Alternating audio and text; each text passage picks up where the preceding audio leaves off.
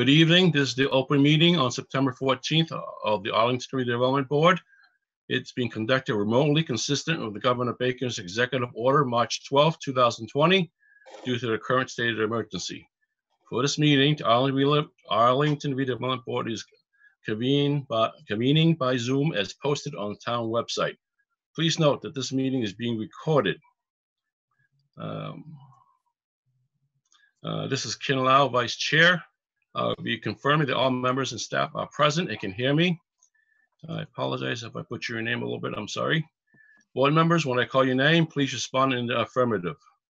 Gene Benson, Here, David Watson, Here, Rachel uh, Zsembery, Here. uh, Jenny uh, Raitt, Here.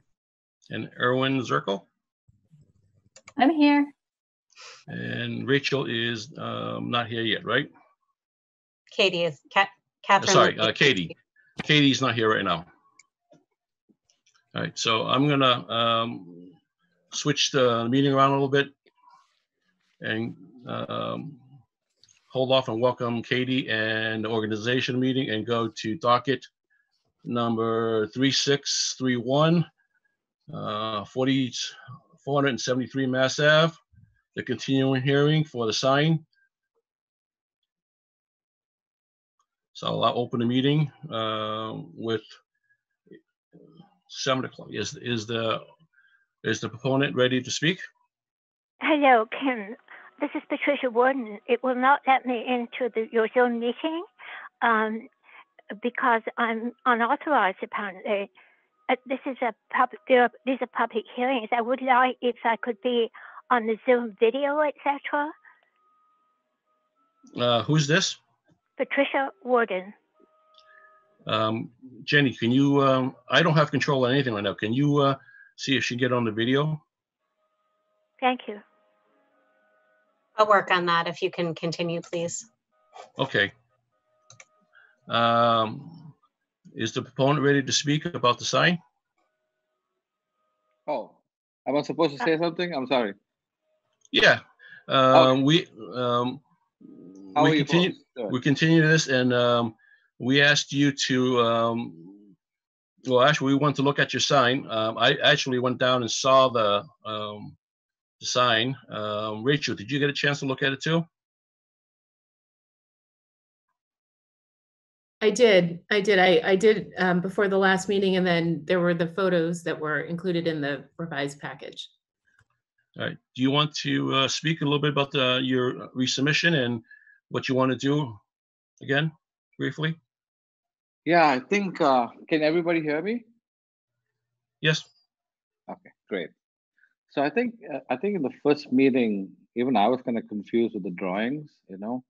Because I think the new submission looks like what we have right now. You know, it looks like this massive banner with the name on it, you know?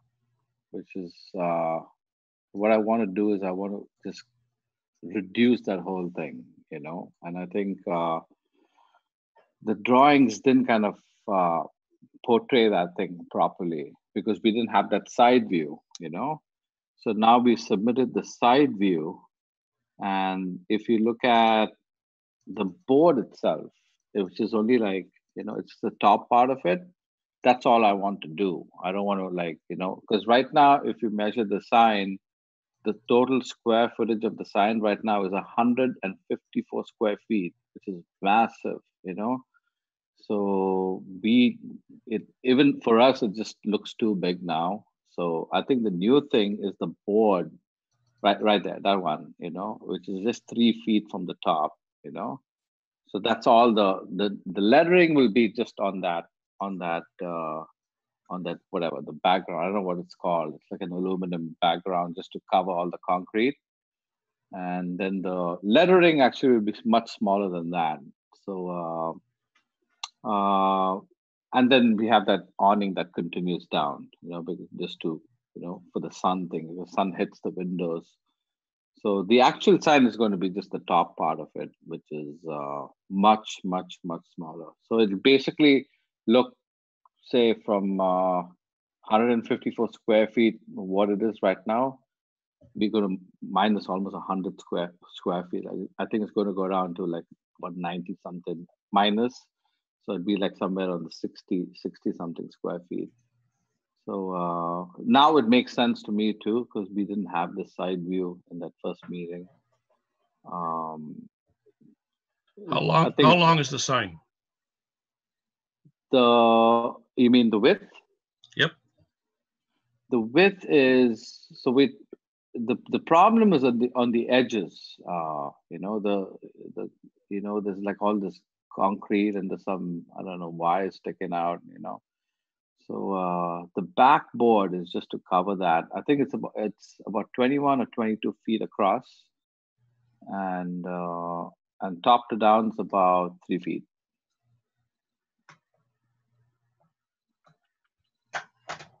Okay. Um, Rachel, you have any uh, comments? So, I- mean, as presented, the sign is, is larger than what's required in the signage bylaws, but from what I see from the photos that you included, and then assuming that the, that the substrate, so the backer that you're putting, proposing to put the sign against is similar to your neighbor to the left, as you look at the, at the building, I think that there's some significant um, damage to the sign band area that would be exposed if we asked you to reduce the side of the, of the size of the sign. So um, while I think that the sign is, is still too, too big, I think that again, you've, you've tried to reduce the size of the lettering. um, And if we asked you to pull in the, the sides, we'd expose that, that the, the, the building facade, which looks like it's, it's um, deteriorated quite a, quite a bit. So um, my request would be that we perhaps remove the curly cues at the, at the edges and really just look at the actual um, signage itself. I do have a question about how this is actually lit because I, I can't tell from the, you know, I, I appreciate first of all that you gave us this section. This is exactly what we were looking for. My question is how this is lit. So are the letters themselves, is the light going to cast onto the panel behind it? Is the light behind the letters or is it from the front? It's So the backer panel itself is not lit. You're going to light the letters themselves. Okay. Just the there's the letters are going to be backlit. So they'll glow forward. Okay. Yes. Yeah. Right. Those are my only clarification questions. Okay. Uh, David? Well, I'll, I'll just um, come back to my uh, thought that we had the last time, which was um, what about moving the curly cues directly next to the letters instead of in the corner to kind of keep the integrity of the artwork, but but um, but narrow the visual impact of uh, of of the sign? Because I I do agree um, with Rachel that uh, it, it would definitely be uh, undesirable to pull in the backer panel and expose the the sign band in the condition that it's in. Um, so I'm just I'm just thinking about whether we can um, maybe help help them maintain the artistic integrity of of of the work um, by not instead of eliminating the curly cues, just pulling them in right next to the wording. If if the proponent wanted to do that. Yeah, I, I'm fine with that. I think I, you know, I actually kind of read, you know, kind of on my computer, I kind of brought it in, and it looks pretty good actually. I like that. I can do that. I, Yeah, I, I don't know what the rest of you think about that idea.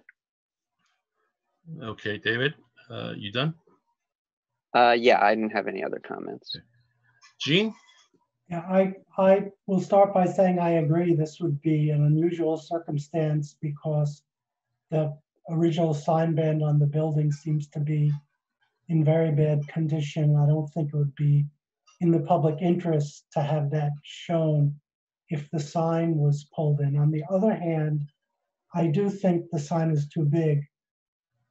And I know we're supposed to count the entire area of the sign, but what I would like to see is, is the wording and any other curlicues within the 40 square feet, which is the technical requirement, I think, for signs of this size. So you can have, in my idea, you could still have the entire length covered, but the area that says Acitron, Cocina Mexicana, and, and whatever artwork would be within the 40 square feet, which I think is where Rachel was headed, but I just wanted to put it within the actual numerical um, parameters of the requirements. I think that's a brilliant idea. Anything else, that. Gene? Nope, Um, I, I have, uh, only one major issue and I, I just want to see if, um, do you see where the sign ban and, uh, canopy transitions?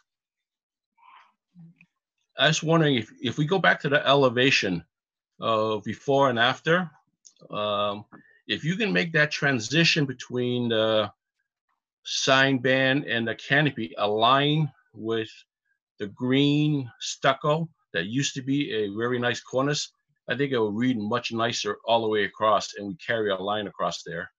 Um, you know, either deleting or bringing in the, the curly cues in or out.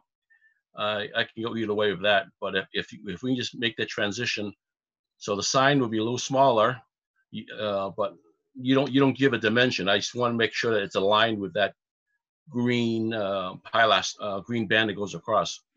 You following what I'm saying? Uh, Ken, are you talking to me? Yes. Uh, no, not quite. Oh, Uh, I, I, Okay. I, I didn't get that part. Jenny, can you pull up the elevation?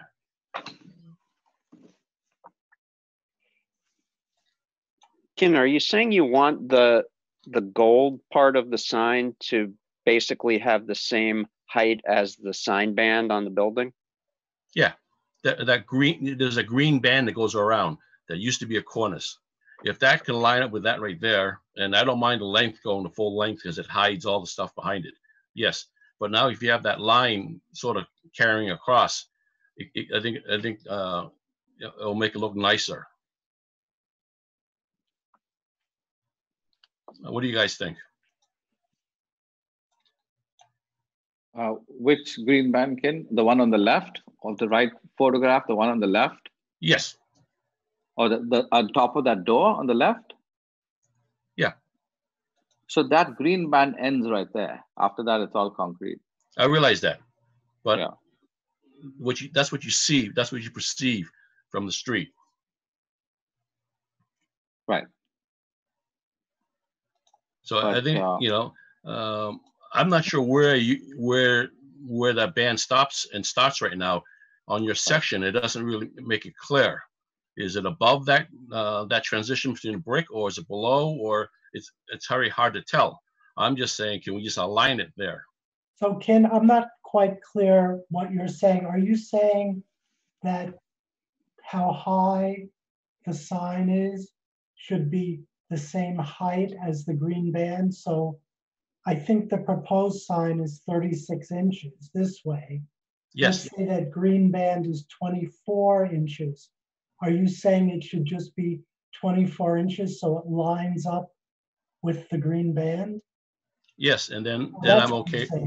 Yes, and then I'm okay with the length of the, of, or the width of the, the sign band, you know, covering more, because now it sort of lines up, and it, uh, it adjusts, it, it, it, uh, it, um, you know, it, it goes with the architecture. So if you look at the, the store on, on our left side. Yep. Um, it's, it's, we have a salon over there and. It doesn't do uh, it. Yeah, it, it's kind of like, uh, you know, so the band will kind of like, it will align with us then, and it won't be aligned on the other side. So if you want to look at it from far in the whole building, uh, it'll be a little disproportionate. That's what I'm saying. I'm thinking, I don't know. But that, that green band ends right there. And right after that green band is where all the, the depleted concrete starts, you know? The stucco, yes. it's stucco, the stucco, you know, that's, I, I I don't know the word for it. So, uh, um, but I, I think I know what you're saying right now, you know? Uh, If I put, if I put the board just, uh, as, as, say, as a green, whatever, then the lettering, uh, on top to down with, a- with our Citron Cocina Mexicana will be a little smaller, you know? And I don't will think be. it'll be, yeah, it won't be, you know, uh, visible to the older people, you know? So, uh, mm, that's, that's my thoughts. I don't know. I mean, it might look good across. Then the whole purpose of putting the, the letters up there is, I don't know, I don't know what to do with that. But you You know have a that pretty this, nice, you have a, you have a very nice restaurant and uh, I think, you. um, recognition of, of where your restaurant is, is, you know, not, I don't think that's that big of an issue right now. But Right. I, I mean, I'm just curious right now what the other board members think. You know, I can be, swi- I could be uh, talked into a little it took time, Ken. It took me nine years to do that, you know? Nobody knew us in the first three years. Well, you did a good job. Thank you, thank you. I mean, Especially- you know, the new sidewalk is going, the lamps are there. Yeah. I just wanted to look pretty, that's all. Yeah. you know, that's- No, that's I my- like your little courtyard in back or uh, to the side. It's nice. Thank you, sir. Thank you. You should, uh, you should tell my wife that. Ken, I have, I have no real preference about whether he shrinks the, the, the height of the sign or not. I don't know what Rachel or David think about that. I mean, I'm, I'm looking, I'm, I, I just pulled it up in Street View and I'm looking and uh, the signs on the businesses to either side uh, aren't even close to aligning with the sign band. Um, and are different shapes and sizes. So I'm, I'm not sure that it would really add much to align it, but I- I don't have a strong preference one way or the other, as long as we get the artwork on the sign within the allowable square footage of, of the sign. Uh, what do you think, Rachel? So right now, the letters are 30 inches tall, which is tall. I mean, those are, that's a, that's still a, a large sign. So um, I, I don't disagree with you, Ken. I think that if it was reduced slightly, that you'd still have a sign that was prominent enough to, um, to be able to communicate at the scale that you, that you want to. Um, and, and you're right, I think proportionally, it would, it would, it would um, really work better with the, with the building. I think that this also needs um, to go, Jenny, correct me if I'm wrong, to the Historic Commission as well. And Yes, I it would, does. I would assume that that would be their preference as, as well, to align architecturally with one of the elements of the um, existing building. So I, I, I think that that was a good suggestion. I'm persuaded by both of you.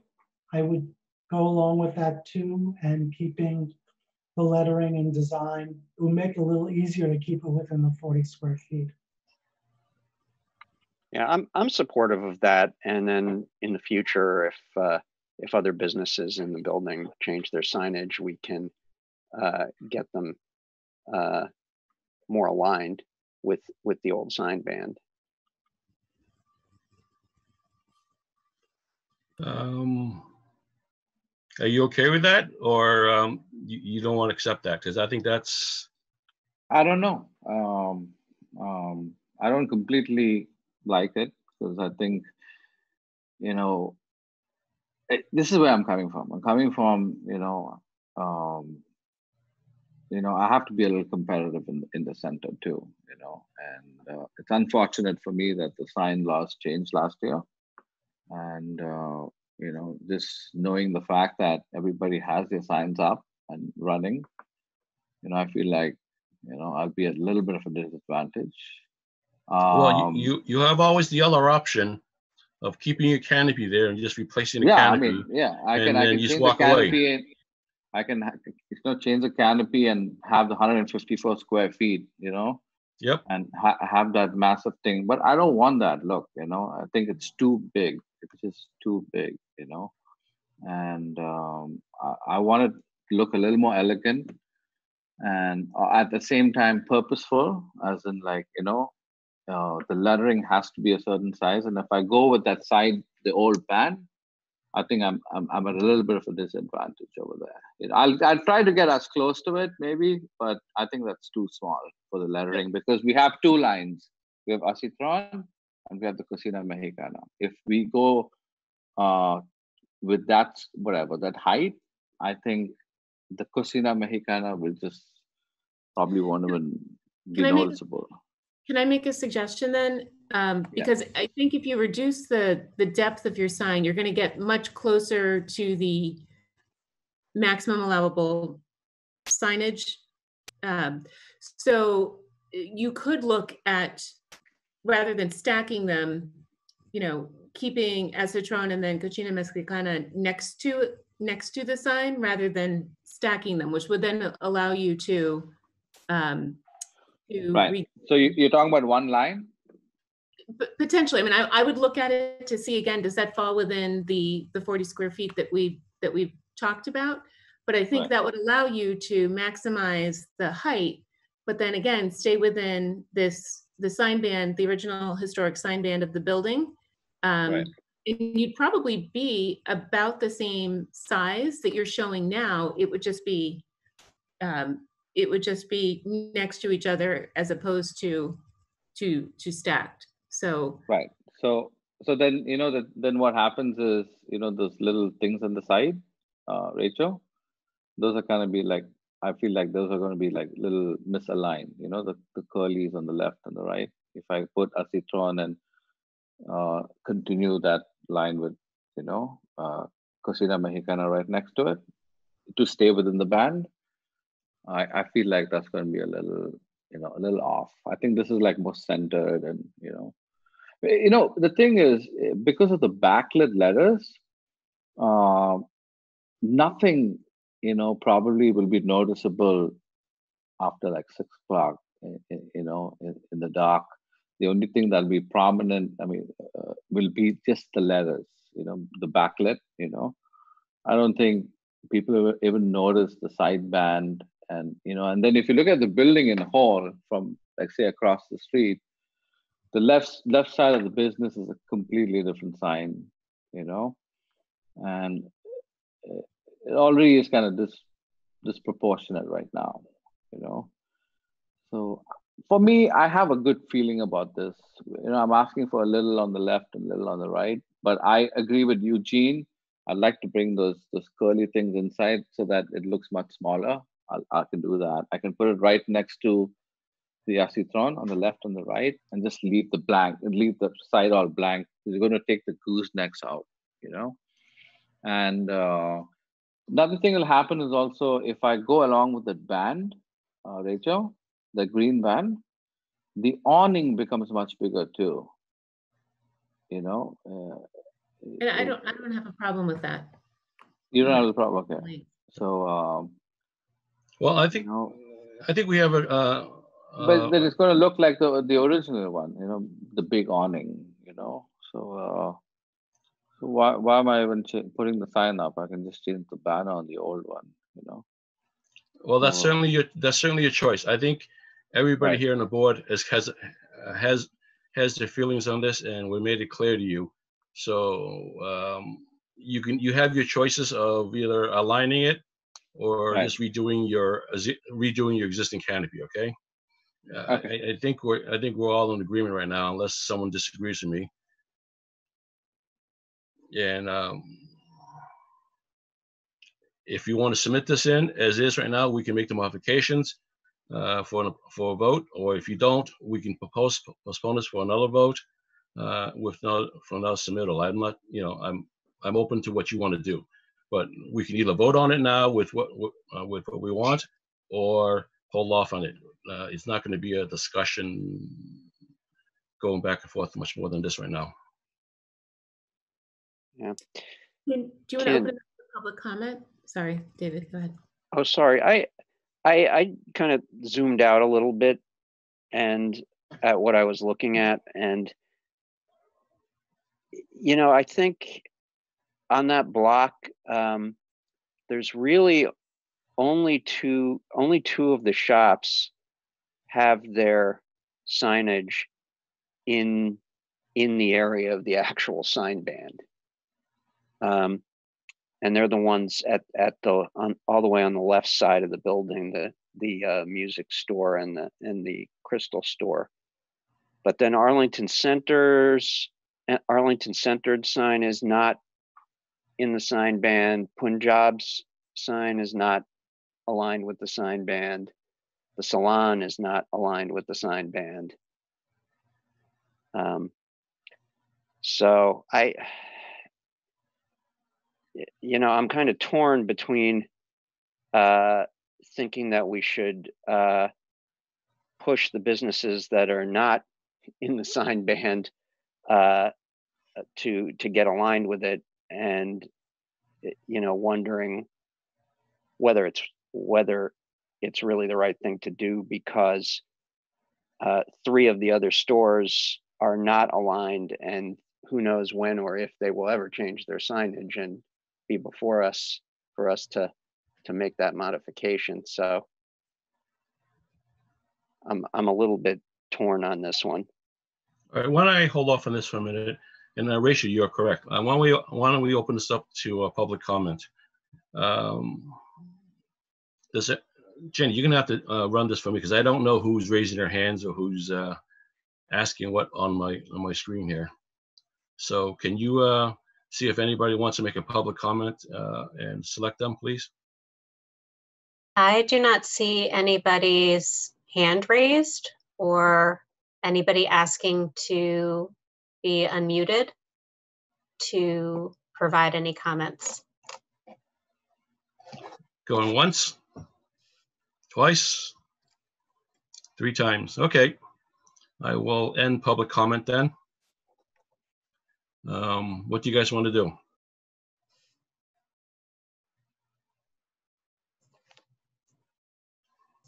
Looking for a motion. So I'm just gonna go, um, actually, I, I have right now the, um, Google Maps pulled up the 3D view.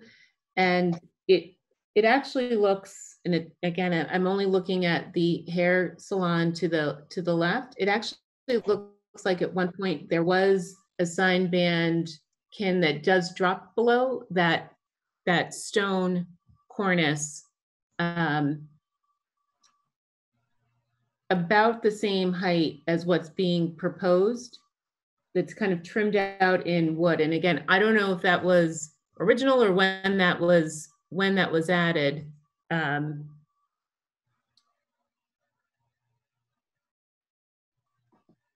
But it, it, you know, it does suggest to me that it, at some point, there was a precedent for this, this sign band being roughly 36 inches as he's showing it now. There So it Rachel. basically, There's, there's a little part at the bottom behind the, the awning right now.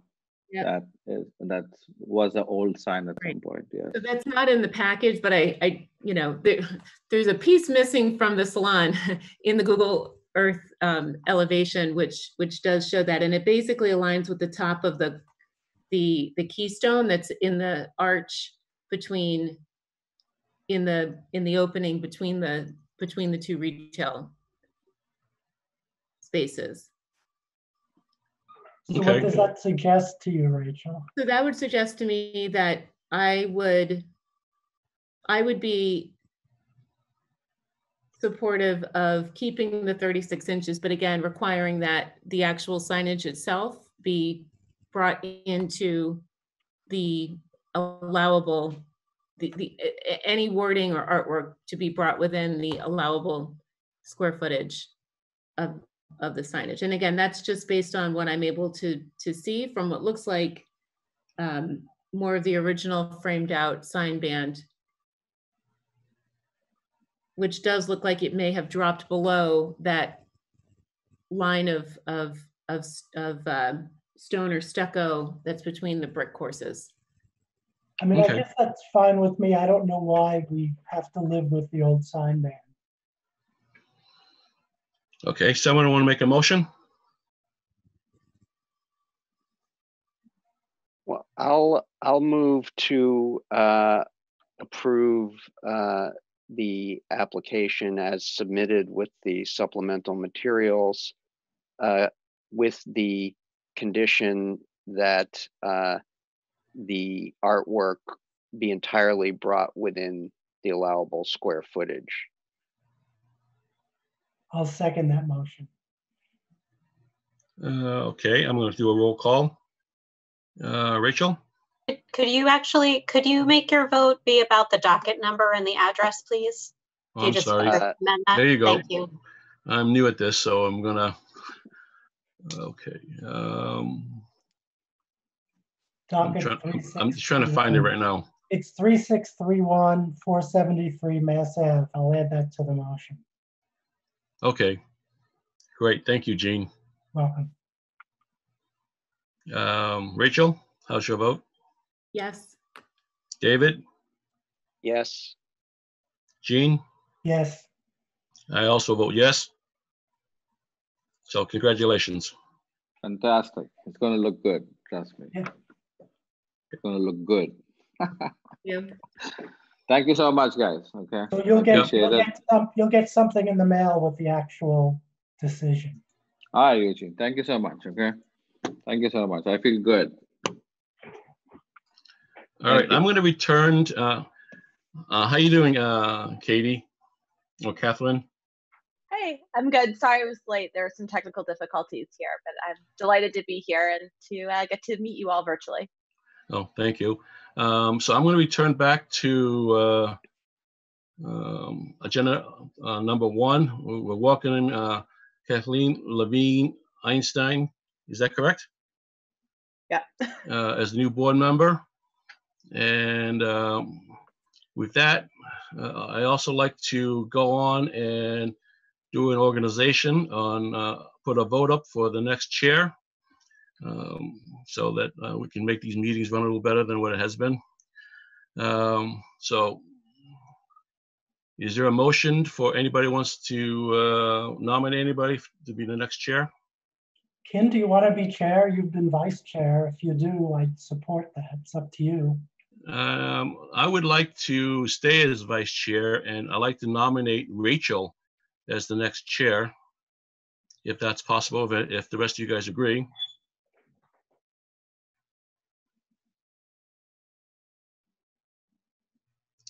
You okay with that, Rachel?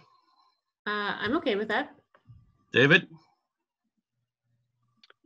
uh, You have a different motion? You certainly. could- no, uh, I, I mean, I have, I have no objection to, to Rachel. I, I don't know whether anyone else wants to express interest. I'm, I'm happy to have Rachel do it. Uh, uh, Catherine, you're new to this, but I'm going to include you. Uh, say, do you have an opinion? No, I, I- I'm happy to have Rachel be chair. Uh, Okay, so um, does anybody want to second this, second my nomination? I'll second. Okay, um, David, your vote? Yes, Uh, Catherine, Yes. Gene? Yes, I vote yes. And Rachel? Yes, Okay, so with that said, I'm going to hand the reins over to you, uh, Rachel. And do you mind uh, going to docket number three, uh, uh, 3633, 15 uh, Mass Ave, public hearing? And you can take over from there. And I'm going to go back being the vice chair and just sit back. great. Thank you. Congratulations, Rachel. Thank you very much. Please bear with me. Hello, Madam Chair. Yes, Can I please be admitted to the Zoom video meeting? I um, was not admitted because I apparently am not an authorized person. To make this a public hearing, I should be able to be admitted. So could you please do that? so Jenny, I kn- I know. There's no video to join her, her audio, so she's joining by phone. She's No, not I, I joining. would like to join by Zoom. I do not consider Oh. joining by phone If, proper if you, But I do, I Miss- would like Mrs. to make a statement on, on the phone if I can't get on uh, Zoom. Yes? Miss, Mrs. Yes. Worden, if, if you click on the link on the uh, ARB webpage on the town website for the Zoom meeting, it brings you right to the meeting. There's no authorized or not authorized. Anyone can The- click on that. Well, I did click, click on the link that was sent to me by the town of Arlington. I clicked on that directly. Is that any different? That's the same link, but you'll need to log into Zoom and then it'll connect you to the meeting. It's a, it's No. a setting, it's a setting change in Zoom that I, that is new. So how do I get into the Zoom meeting? Do I do it from the web page? You, you, uh, what David just told you about going to the agenda and clicking Yes. on that, on that link, it will bring you into the meeting. even though it's the same apparent link, is that right? It's, it's the link that's in the meeting notice. Yes, Yeah, I have the meeting notice formally from the town of Arlington, but that is different. Is that what you're saying from the one on the web page? no, they're the same notice.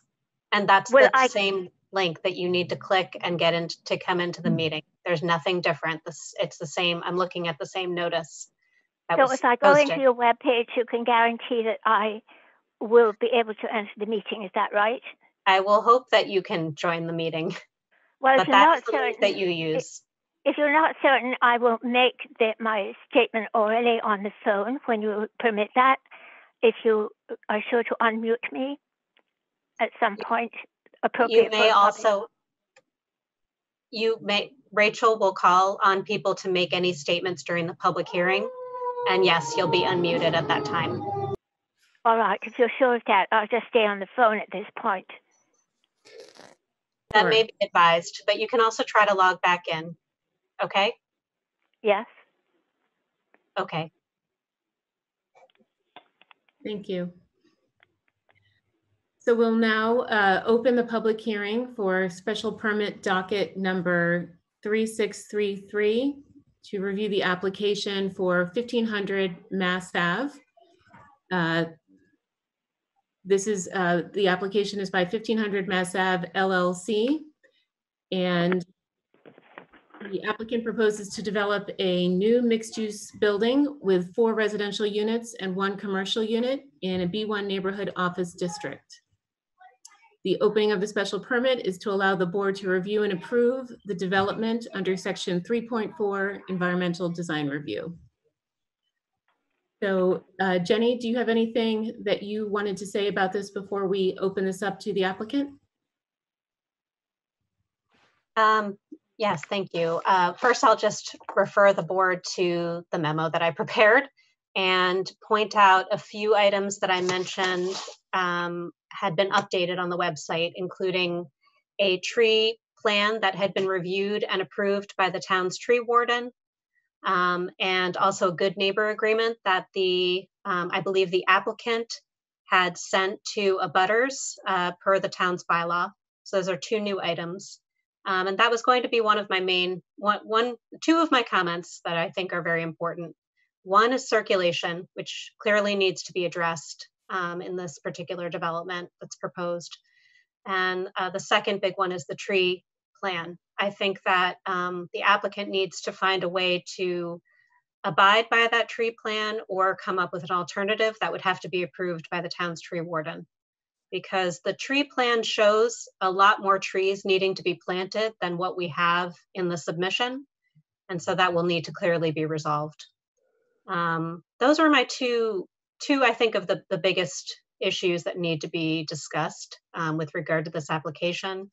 And I believe that the applicant is prepared to talk about those matters as well as uh, provide the board with an overview of the project proposal. Thank you, Rachel. Great, thank you, Jenny. So do we have the applicant with us? Uh, I see Attorney Annese. We uh, do, yes. Great. I am here, and with me is Monte French uh, from the architectural team, Emily Driscoll with him, and Darren Danucci, who is the contractor developer. Uh, now, uh, I'm sure that you've read, all read my submission. uh, my Exhibit A statement of intent, particularly, which gives a background as far as the property itself is concerned. Uh, the property uh, consists of, uh, the lot actually consists of 7,265 square feet.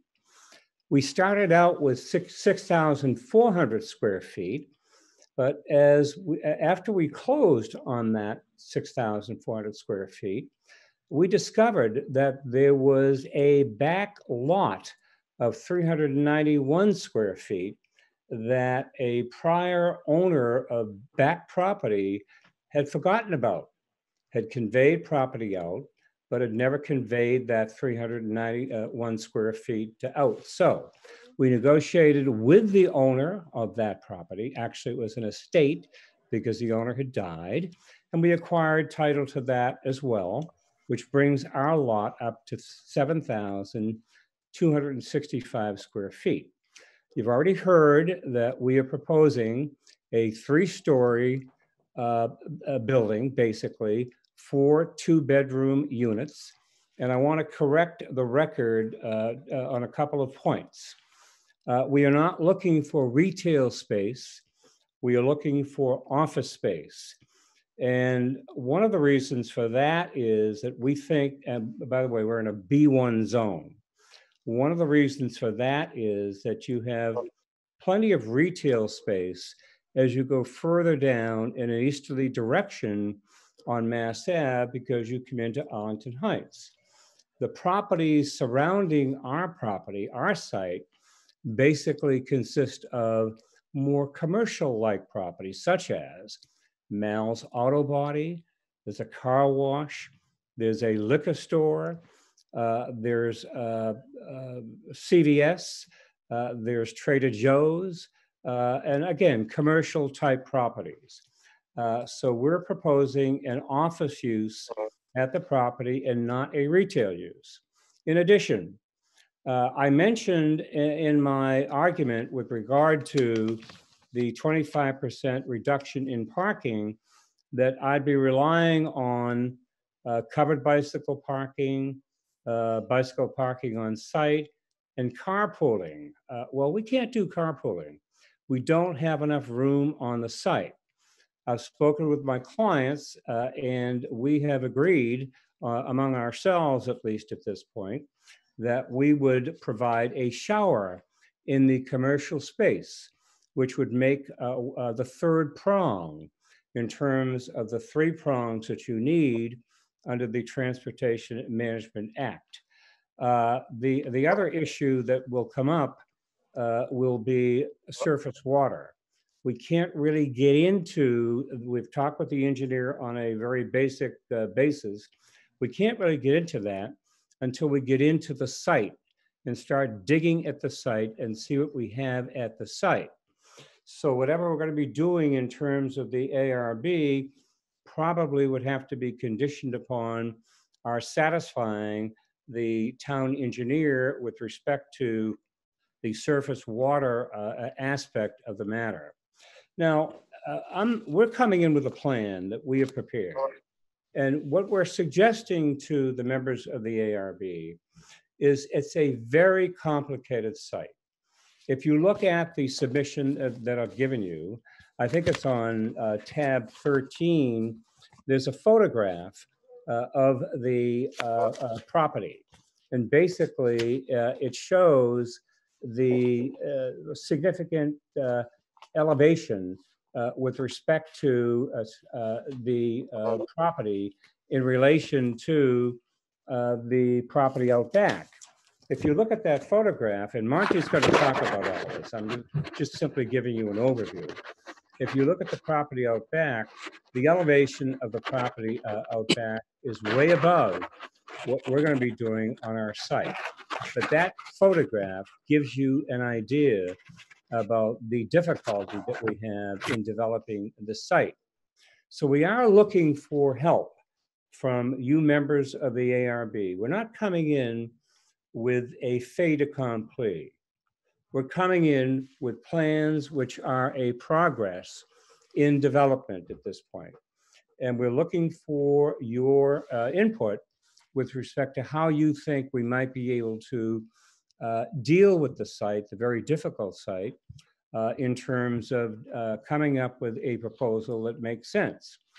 Now, it's, it's mixed use, it's in a B1 zone. Mixed use does apply in a B1 zone. Uh, we are going to have uh, the, the mixed use component because we're going to have the office use in addition to the residential use. And as you can see from our submission, with respect to the dimensional forms, uh, we are uh, proposing uh, a, a decent uh, square feet for the office space. We are open to discussions about that. Uh, I believe the office space that we're proposing uh, essentially uh, uh, is uh, fairly substantial, uh, given the, uh, the total square feet of the building. Uh, We are, uh, again, amenable to whatever the board might come up with in terms of suggestions as to how we might handle that office space. The office space on the dimensional form is misidentified as retail. It's really office. And that shows up as 1,145 square feet. The residential shows, shows up as 4,224 0.9 square feet. But again, uh, we, we need the residential. There's no question about that. We have to have the, in order to make this project work, and I've been through this before with the members of the ARB, uh, people need to understand, not the members of the ARB, they understand, okay? But folks need to understand that if a project is going to work, it has to work not only for the town, but has to work economically for the developer as well. Now, I know that you folks are in receipt of a memo from town counsel uh, with respect to your obligations and responsibilities in interpreting the standards under design environmental review. Uh, and uh, what he talked about in that memo uh, was the fact that you folks have the ability to grant relief, for example, uh, with respect to setbacks and with respect to open space.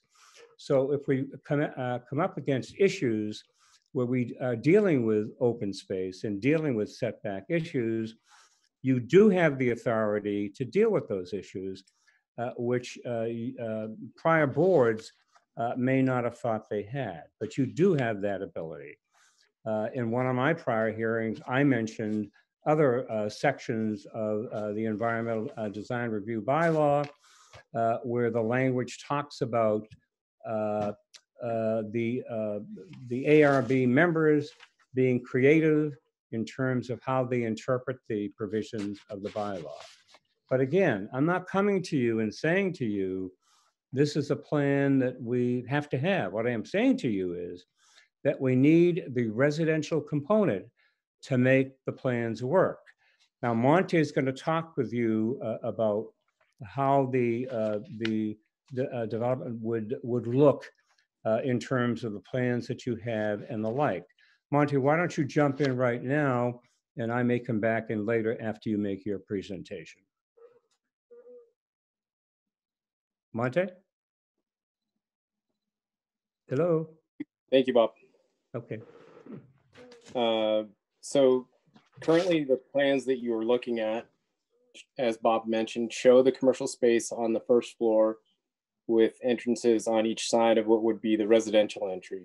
Um, The building is positioned in the site to be 25 feet back from the front yard uh, edge. And that has to do a lot with setback requirements and open space requirements. Um, We also have um, bike storage short-term bike storage out in the front yard. Um, so that, and then the circulation through the site is a one-way uh, vehicular traffic through the site. Um, so it enters one side and exits the other side, and parking is in parallel along the edges.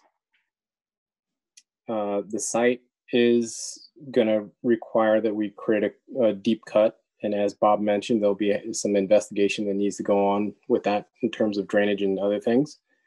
Um, we've looked at a lot of different scenarios, but of course, we have not gone in great detail uh, to a point that where we would want to hear what happens with this hearing before we move forward with anything.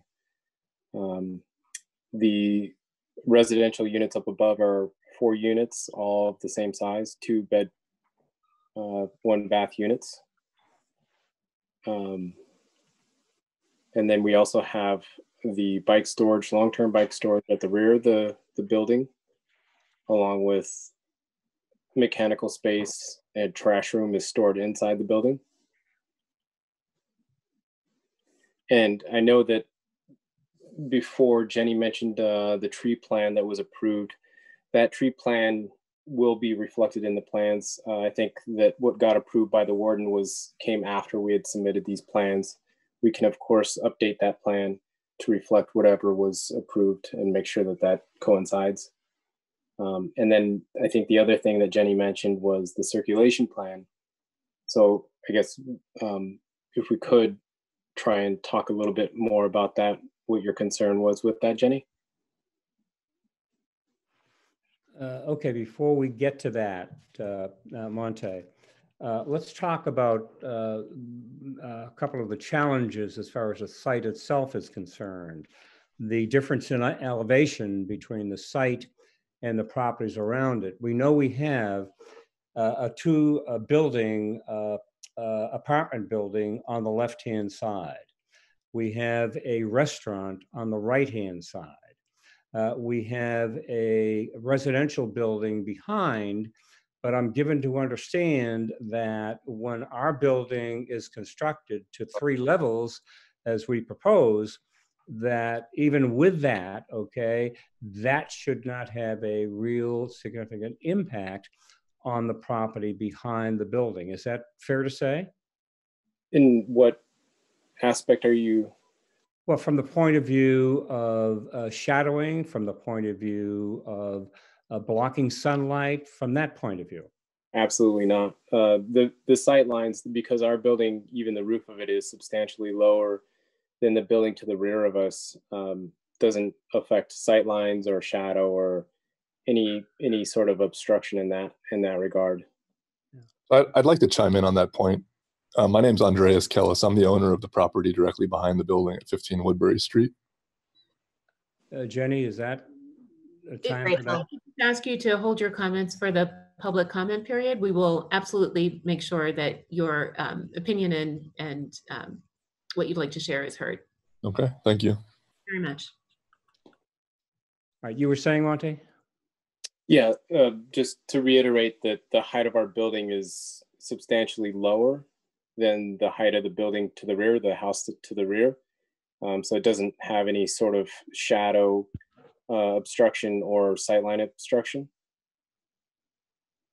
And how about the apartment buildings to the left-hand side of the property? Uh, uh, Monte in terms of their height uh, as compared with the height of our proposed building?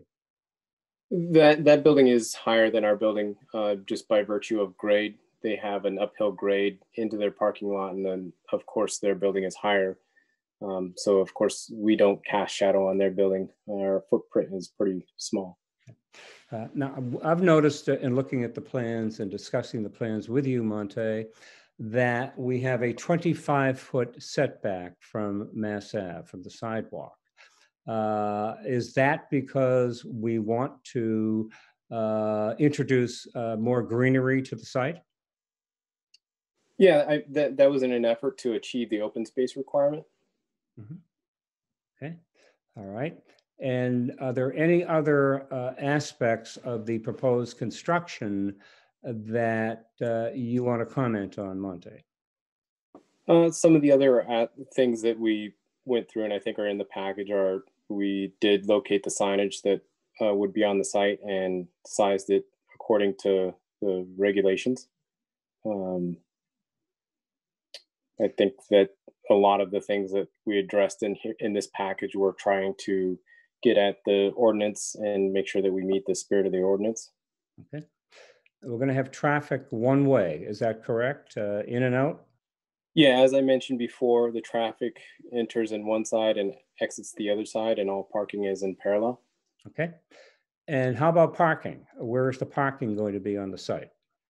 It's in parallel to the drive lane along the sides uh, of the drive lane. On the How many side, parking spaces on the side? uh, five. Okay. So there's two on one side and three along the rear. All right, okay. And uh, we need a total of how many parking spaces? Six, correct? Six, correct. All right, so we'll be asking for uh, relief from the members of the ARB uh, with respect to one parking space. Is that correct? Correct. All right, okay. Is there anything else that you want to add with respect to the plans before uh, we hear from the members of the ARB with, re- uh, with respect to their comments? And I do want to get into the uh, circulation issue that Jenny raised in her summary as, uh, as well. I think that's pretty important at this point. Uh, But is there anything else you want to raise before that happens? Uh, not at this time. All right. That's what I'd like to say at this point. Great, thank you very much. Uh, We'll open it up to members of the ARB for comment. Uh, Kin, would you like to start us off? Sure. Uh, uh, Monty and uh, Robert, thank you for um, a fairly complete uh, presentation. It's been a long time since we've seen something this complete. And um, I'm very supportive of the project, but I have several issues I need to talk to you about. Okay. Um, One is uh, the program which you have right now. You have uh, ground floor uh, office with uh, four, uh, four units above on the second and third floor. Uh, And that's four units. According to uh, state code, once you go over three units and um, you need to get uh, um, a handicap access, unless I am wrong with that. Do you, you find an exception to that, Monty, that I don't know about? No, uh, that is something that we can address either through um, adding a, a an accessible unit on the ground floor, take part of the commercial space and create an accessible unit. Uh, I think part of what we looked at in the beginning and discussing this was that there is some precedent for other projects that have been completed in Arlington that don't have this, and that it is something that you can go to the uh, ADA board and ask and ask for relief. Um, but if you prefer that we don't do that, we can certainly add an accessible unit on the gra- ground floor to achieve that. Okay, so that's, I would prefer adding another unit um, on the ground floor. I'm not sure what my other board members think about that, just so we have a handicapped unit on the ground floor. Um, And then the other thing is, since you only have one means of egress, a stairway there, I'm assuming the building is sprinkler, uh, sprinklered.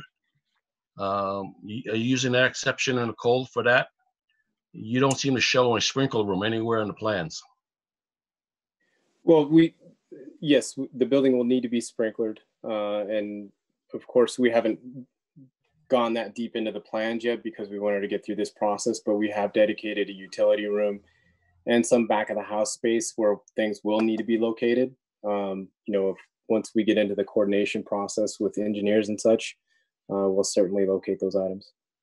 Um, I, in the past, I found that you might have better luck with the fire department if you put it off on the bottom of the stairs. Um, so when you first come in, um, you, you right now you have a choice of just going up. But if you put on, on a couple of steps going down and, and tuck the, the water room right um, below the landing and underneath there, you might be better off. But it changes the architecture a little bit. That's why I'm, I'm saying this. Instead of having a, a, a a public access in the back for the firemen, it's actually in the front. So that might change the way you look at how you design this building. Yeah, it's a great idea. We actually on the upper floors have, if you see, look at the upper floors, we have a shaft Yes, I is- see that. that is adjacent to the stairwell that we can easily use that to get up into the upper floors. Okay, well, with that said, uh, that issue there, and then my other issue is um, your tube curb cuts. Is there a, is, when you guys laid this out, was there a way of combining these curb cuts so you only have one way into the site? It's a very small site. And it's, it's, it's fairly close to the corner of this, uh, of, of Mass Ave here. And if you can move the, the driveway, combine it away from the, the restaurant and then not have a curb cut there and move the building over a little bit more, I'd be supportive of that too. But I want to hear what you guys, why you guys decided to go the way you, you went. I think it just has to do with the logistics of trying to get parking and vehicular circulation. And, you know, I think the thing that gets in the way is um, being able to maneuver on a site that has two-way access on one curb cut. Sometimes that is what creates the issue. When you have one-way circulation through the site and parallel parking, there's very little need for man- uh, maneuvering of parking. Yeah, that's, that's it. So I, I think it'd be better if we only had one curb cut and having that curb cut that's closest to the corner be eliminated and, and, and getting more space in the back for you. I would only, only suggest that moving the building forward. Right now you have 25 feet, it's set back 25 feet.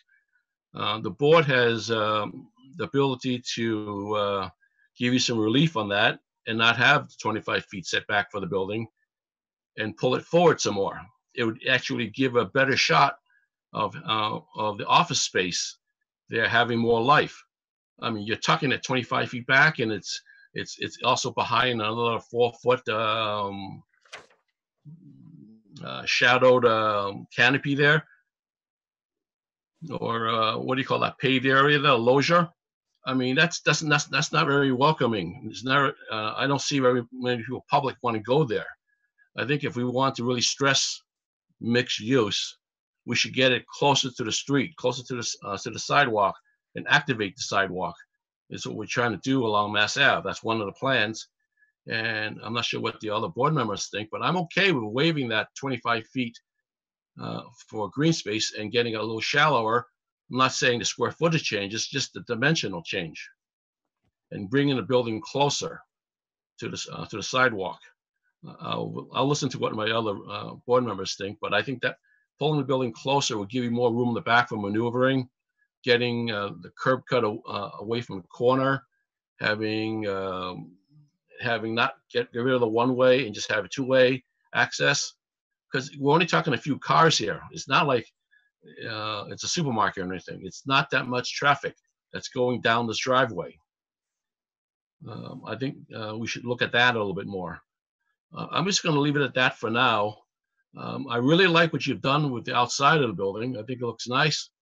It's, it's a good relief that, um, you know, an architect has looked at this and actually drew something up that looks, that fits in the neighborhood. I'm done, Rachel. Great, thank you, Kin. Uh, Gene? Thank you. Um, I'm just making a note. I have lots of questions. A couple for Bob initially. Bob? Yes. Um, I was a little bit confused about um, the square footage of the lot. Because as I saw, it, the main lot was 6,400 square feet, 3,200, 3,200. That at one time was combined to 6,400. And that's what the property cards show. And then there's, you've just purchased the little sliver in back, which is 391. And my math adds that up to 6,791, not 7,265. So can you explain why Yes. I'm wrong and why you're right? Yeah, the- I can. We have a survey plan. We actually had the property surveyed. And when the surveyor went out there and surveyed the property, and we have a deed, by the way, uh, with respect to the initial survey, with respect to the 6,400 square feet. Uh, We then, uh, uh, uh, we had the surveyor go out there again uh, once we acquired the extra land, okay? Uh, And if you look at, you, I think you have the survey plan there, I believe.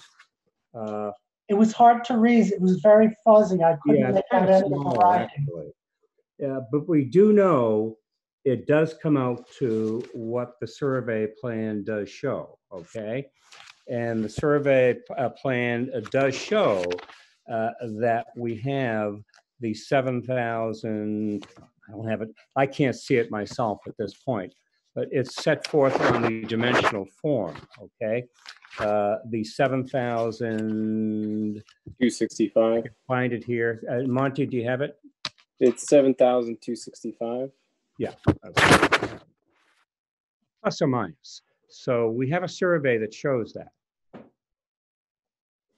I, well, I couldn't read the one plot plan because all of the lettering was pretty fuzzy. So I think if you could submit a clearer copy We will do that.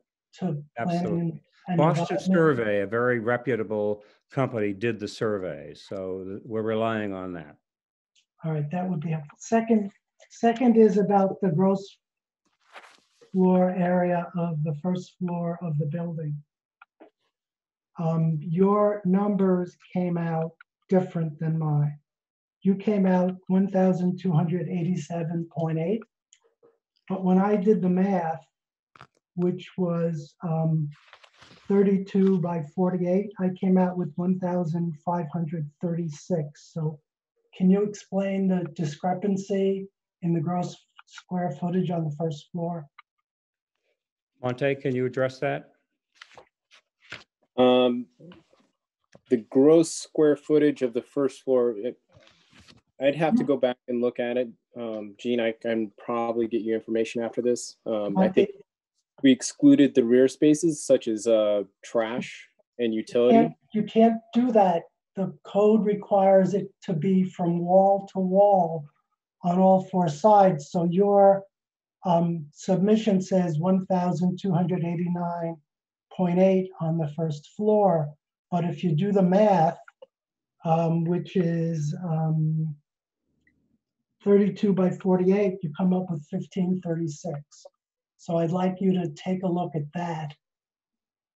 Okay, and not exclude trash Well, or, take a look at the definition in, in the zoning bylaw of gross floor area, please. We will do that, Mr. Benson. Thank you. Um, next question, um, I have is about, um, the parking. As I looked at it, and maybe it's a little bit hard for me to envision it, when the cars pull in parallel, they're going to be against concrete walls. So it's unclear to me how the right side doors will be opening unless the car, unless I'm misunderstanding what's going on there, or the cars are going to be more out into the driveway. So can you talk a little bit about the ability to park those cars not in the driveway and be able to open the right side doors? Monte? yeah, I mean, we'll, we'll have to take a look at it. I mean, we did size the spaces according to, uh, the space requirements. Um, the logistics of door opening and things like that, I think are things that we'll have to drill down into. And if we need to nudge things here and there, we can. Um, I think it's probably no different than a parking lot where you have cars parallel to each other and trying to get a door open next to another car. Uh, but we can certainly uh, take a much closer look at that. Yeah, I think that would be helpful. I couldn't quite um, understand that. Okay. Um, Next, about um, the parking and the uh, transportation demand management plan. I have a very different understanding than you've described, Bob, and I can't understand how a shower in the commercial space will meet that because the parking is for the residents. The parking's not required for the commercial space. The parking's required for the residents. So to have a shower in the commercial space doesn't really help toward that. Similarly, you're required to have uh, bicycle parking anyhow. So bicycle parking doesn't really help um, toward it either. So I don't really see how you're going to come up with a, a traffic, a transportation demand management plan for the residents um, of the building. What you have is five parking spaces that the owner is going to have to allocate to four two-bedroom units. And I think there are a lot of ways to do that. I don't think a transportation demand management plan gets you there at all. Um, similarly to some of the other things that you had mentioned in the narrative about other people using those parking spaces, like people who came to the building or or other things, those spaces are required because of the number of um, residential units in the building. So they have to be reserved for, as I see it, for those residential units. So we do have one way, and I would like um, my colleagues on the board to consider this. We do have one way that gives us authority to reduce the number of parking spaces that doesn't require a transportation demand management plan, and that's if there's an affordable unit in the building. And so I think one possibility to get one fewer space, five rather than six, is to have an affordable unit in the building. Um, I, could I comment on that, Gene? yes, please, I stopped so you could. Uh, I don't think we can do an affordable unit economically to have it make sense. We are uh, going to very seriously consider Kin's suggestion uh, with respect to an accessible unit. Uh, And uh, in order to do that, uh, we need to have the four two, two bedrooms, okay? To make this site work for us in terms of what we have to put into it. We're going to have site costs that are going to be very significant because of what you've seen from the photograph and what you can see from the plans, okay? So uh, I don't really believe that we can do an affordable unit. Uh, I do think we can do an accessible unit. Uh, and we may have to do something with that office unit on the first floor. uh, uh, and perhaps we carve out of that office unit on the first floor a studio or a one bedroom instead of a two bedroom. Uh, which again we don't we would prefer not to do but we would do that if if uh, that was something we had to do okay uh, so uh, I think that's something we can certainly look at, but I just don't want to create the impression that we can do an affordable unit here. I don't think the numbers, and uh, Darren DiNucci, the, uh, the developer, uh, is on this uh, session, and he can jump in if he wants to, but I just don't think that doing an affordable unit would allow us to do this development the way we'd like to do it. Well, it's um, one way for you to get uh, approval for five rather than six parking spaces. Let me just say something about putting a unit on the first floor. I'm concerned that the amount of, well, you say retail, and in No, your, it's not retail, it's gonna be office. I understand that you said that, and in your narrative, you said that we had suggested retail, which is obviously incorrect. But I don't know that that's enough space to be viable. And I'd be very interested in seeing some sort of market analysis that shows that 974.8 square feet of office space is going to be rentable in, in Arlington.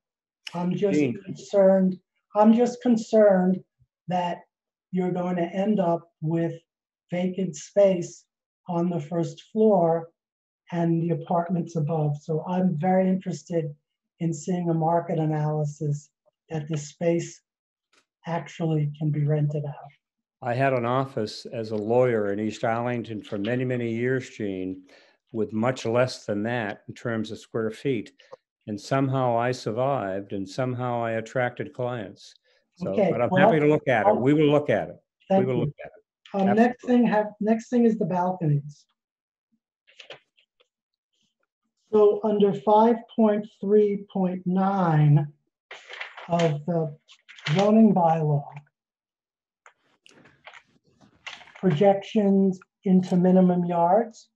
On the left side, the balcony, which is approximately um, 43 square feet, would be projecting too much into the left side yard on both of the balconies. So I'd like you to take a look at that Yep. and um, see what can be done about that, Yep. if anything. Um, I'd, I'd like to just add to what um, uh, Jennifer Raitt said, the, the obligation that was made to the uh, tree warden was eight trees. I think it was at least two and a half caliper that were native that would grow to at least 50 feet. So um, I agree that unless you can get some relief from the tree warden, um, we would need to see a proposal that incorporates the promise that the developer made to the tree warden when he took down the other trees. We can do that as well. Uh, we, Um, you know, we, we understand, Gene, that uh, whatever we're going to do, uh, a condition subsequent to uh, w- what happens here is going to be what you folks suggest we do in terms of uh, trees, in terms of uh, greenery, in terms of things of that nature. And that's the reason I said at the opening that we're here uh, for your uh, advice, your suggestions in terms of what we might be able to do to make this site a viable site. We need to keep in mind that there was a dilapidated building on that site, uh, and that we are we are certainly improving uh, the appearance of what was uh, what is going to be on that site at this point. But again, we need to work within the confines of the bylaw and work within the confines of the authority you folks have on the ARB. And and I agree with uh, uh, Lau about thinking about pulling the building a little bit closer to the street. The setback under the bylaw is 20 feet, not 25. So I think at a minimum, you might think about pulling the building five feet closer um, to the front lot line and figure out what that would do with your open space. I haven't um, Yeah. Yeah, we'd have to- We'd have to look at that in conjunction with the memo of Doug Heim, where he talks about the fact that you folks on the ARB do have the ability to basically modify uh, the setbacks, okay? But we'll look at that as well, Gene. Yeah. Well, I think the starting point for me, Bob, before I modify, is to understand why you can't deal with the existing setbacks. Right. We're, we're, we're going to note, take note of all your suggestions at this point. Um, so the retail or commercial space is listed as nine seventy-four point eight, but I think you said something over a thousand. Can you explain the discrepancy? Again, I'd have to defer to Monte on that. Yeah, I, again, I think that this is something where we have to get in and, you know, I, I know that there's things that have been submitted at different points in time, so maybe we need to catch up with, um, this might be an, a slightly outdated plan. Um, Okay. There, there was talk about a retaining wall in back, step back, eighteen-foot wall. I, I didn't see any drawing of that or representation of what that would look like. Can you explain? Yeah, I mean that that is an ongoing uh, exploration. Uh, we have been communicating with the rear abutter and other engineers as to what we need to do. Uh, we haven't, again, we've been waiting for this meeting to be able to get into it fully, but there will need to be a retaining wall system there, and we will have to work with the abutters to do it. Yeah, I noticed that the retaining wall in back, and you can see it in one of your photos, and I was out taking a look today, has some trees that probably longtime volunteers growing on top. And it- uh, my guess is that the roots of the larger of the three or four trees there have cracked on the retaining wall already. So I do think you're gonna have to come up with something on the back. On the left side, there are trees that are on, right next to the retaining wall, and I wondered if you intended to do anything with that wall, because if you did, you're probably gonna undermine the trees on the left side. Yeah, we'll certainly need to look at that. I'm that is a situation always when you have trees that are either right on or very near property lines and kind of mitigating that situation. so when I went and looked at the site today, it was clear that the site grades up. So from Mass Ave, it goes uphill toward the back, and you didn't provide any elevations, things like that, indicating what you would do, whether you're gonna take out um, enough soil on the site so it would be flat and, or whether it's gonna continue to grade uphill. Can you talk a little bit about what? Darren, are you on? Darren? Hello? I guess he's not there. All right.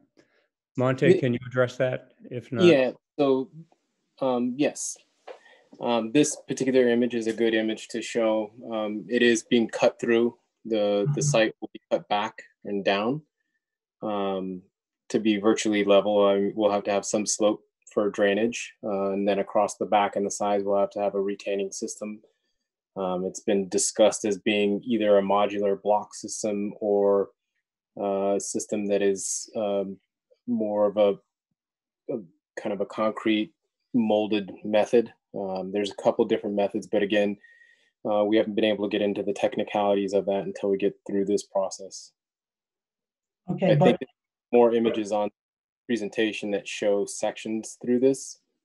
So for mm, But your intention is that it will be pretty much level with Mass Ave, maybe very slightly going up. correct, Okay. Um, so If- that's the the rear. Sorry for interrupting. Jenny, can you go to the other edge of that page, no, the previous page? And go. Yeah, you can see how just to the right of the old building, there's a stone, a stone retaining wall, and it's significantly higher than Mass Ave at that point. So your intention is to basically take that down, if I understand. Uh, which retaining wall? The, the one to the right of the driveway in the old building, the photo that's on the screen.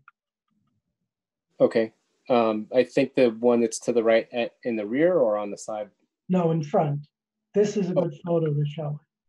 Yeah, some of that will need to come down. Yes. Yeah, so this is also a good photo because there's a, a gas pipeline vent over there, and this doesn't, this is at an angle that doesn't quite show it, but it's really a little bit closer to the right, and it looked to me like it would either be within the driveway you're proposing or very close to it. And I wondered if you had taken that into consideration, if you talked to the gas company about, about it. No, I, I, I, we certainly haven't gone down that road again. That- That is an issue, Gene, that I did discuss with the developer, and we'll get back on that, okay? There, there are ongoing discussions on that, uh, as a matter of fact. Okay, because yeah, something I think is gonna have to, is gonna need to be done about that. Are the, are the, um, the air handling system, et cetera, gonna be on the roof of the building? Because you don't show that. Uh, most likely, yes. So I think an issue I would be interested in is how you're gonna be screening, not only from Mass Ave, but also from the side and the back of butters. So obviously something you're gonna have to deal with. I just wanted to ask about that now. Um, let me see if there's anything else.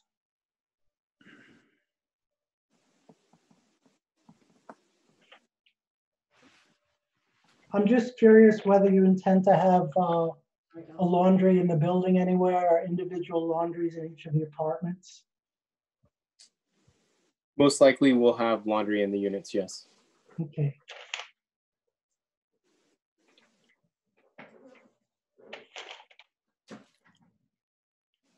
Okay, I think that's it for now. Thank you. Thank you, Gene. Uh, David? Thanks, Rachel. Um, My colleagues have highlighted um, most of the issues that uh, had caught my attention.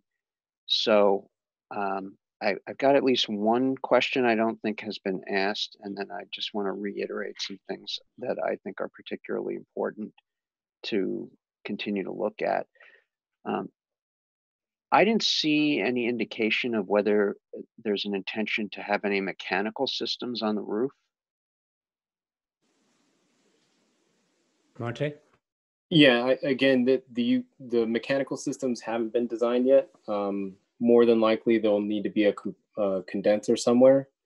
Uh, but I think the intention would be to have mini splits in the units. Um, so no big air handler or anything like that up on the roof. Okay.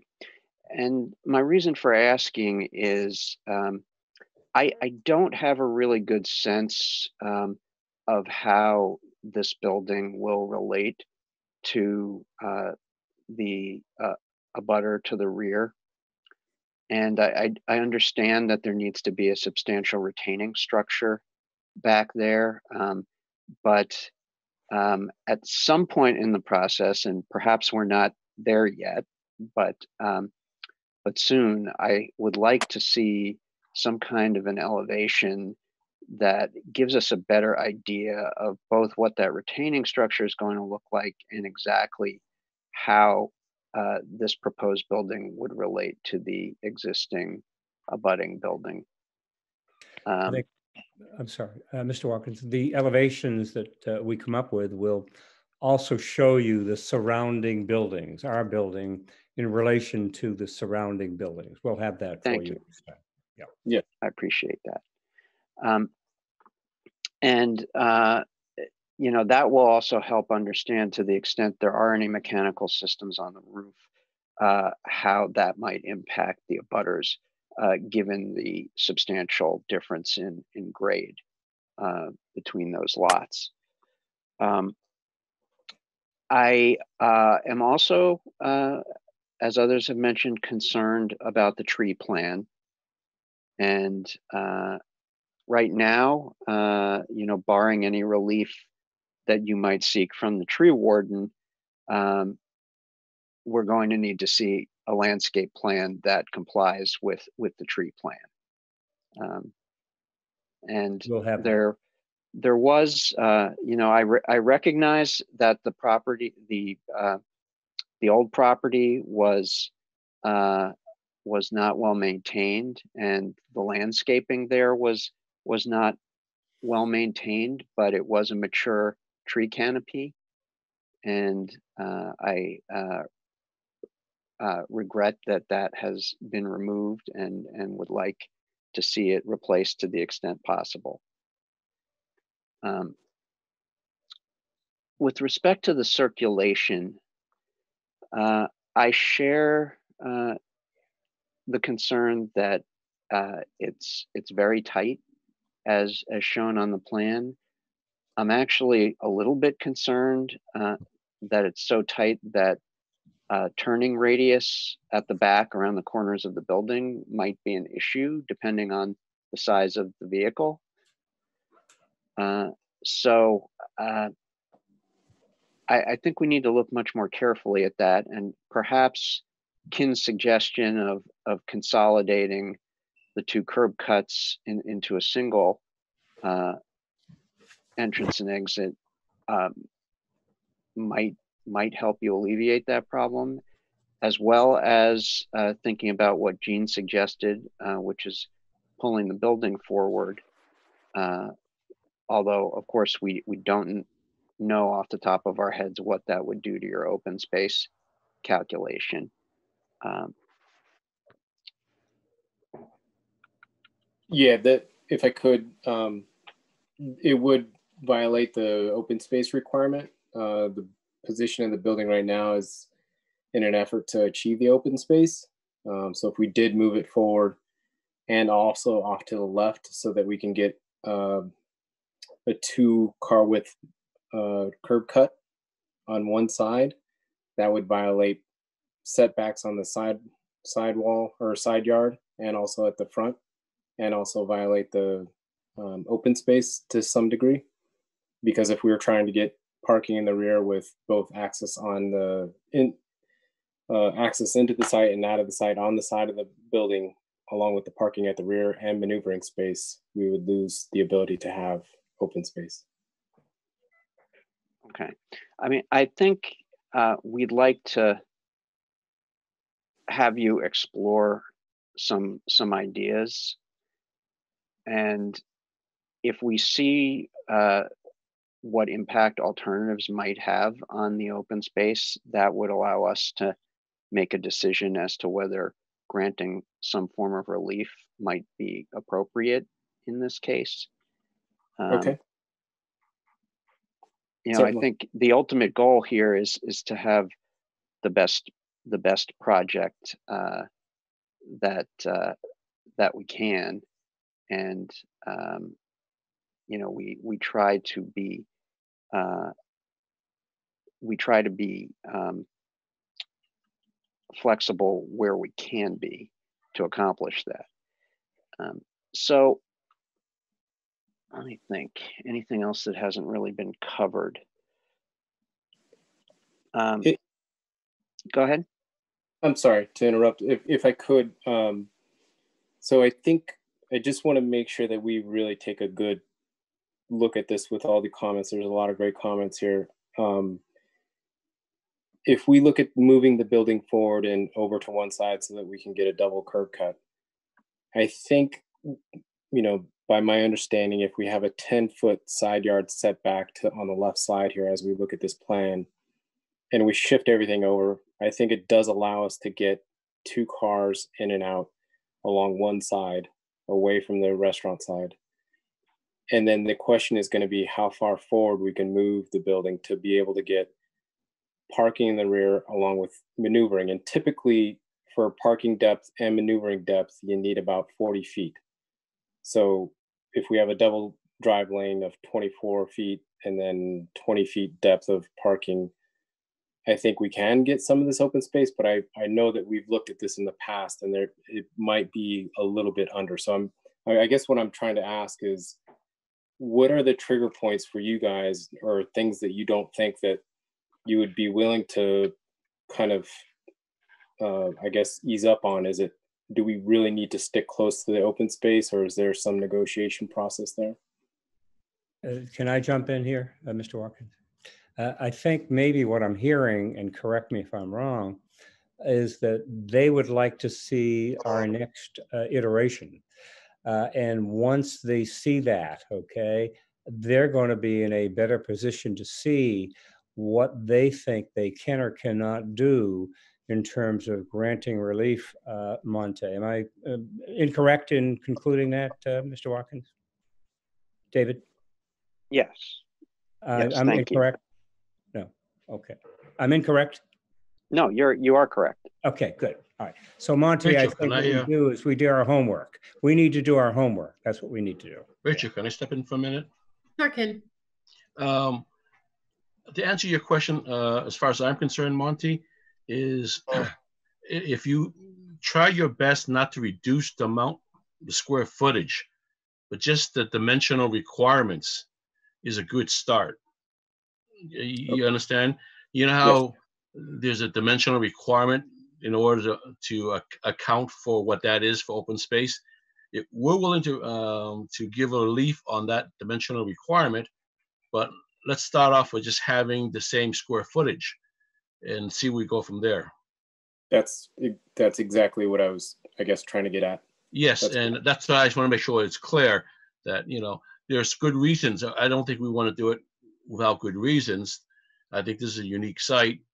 And the fact that you still maintain the square footage of open space, just the dimensional requirements have changed a little bit. Let's not make it such that it's like a one to three ratio, uh, ratio, but you know, it's something that I think you have, uh, would have a good eye on just trying to say, hey, this is what we think, and we can go, we can talk from there. Okay, Well- that's sorry, go ahead.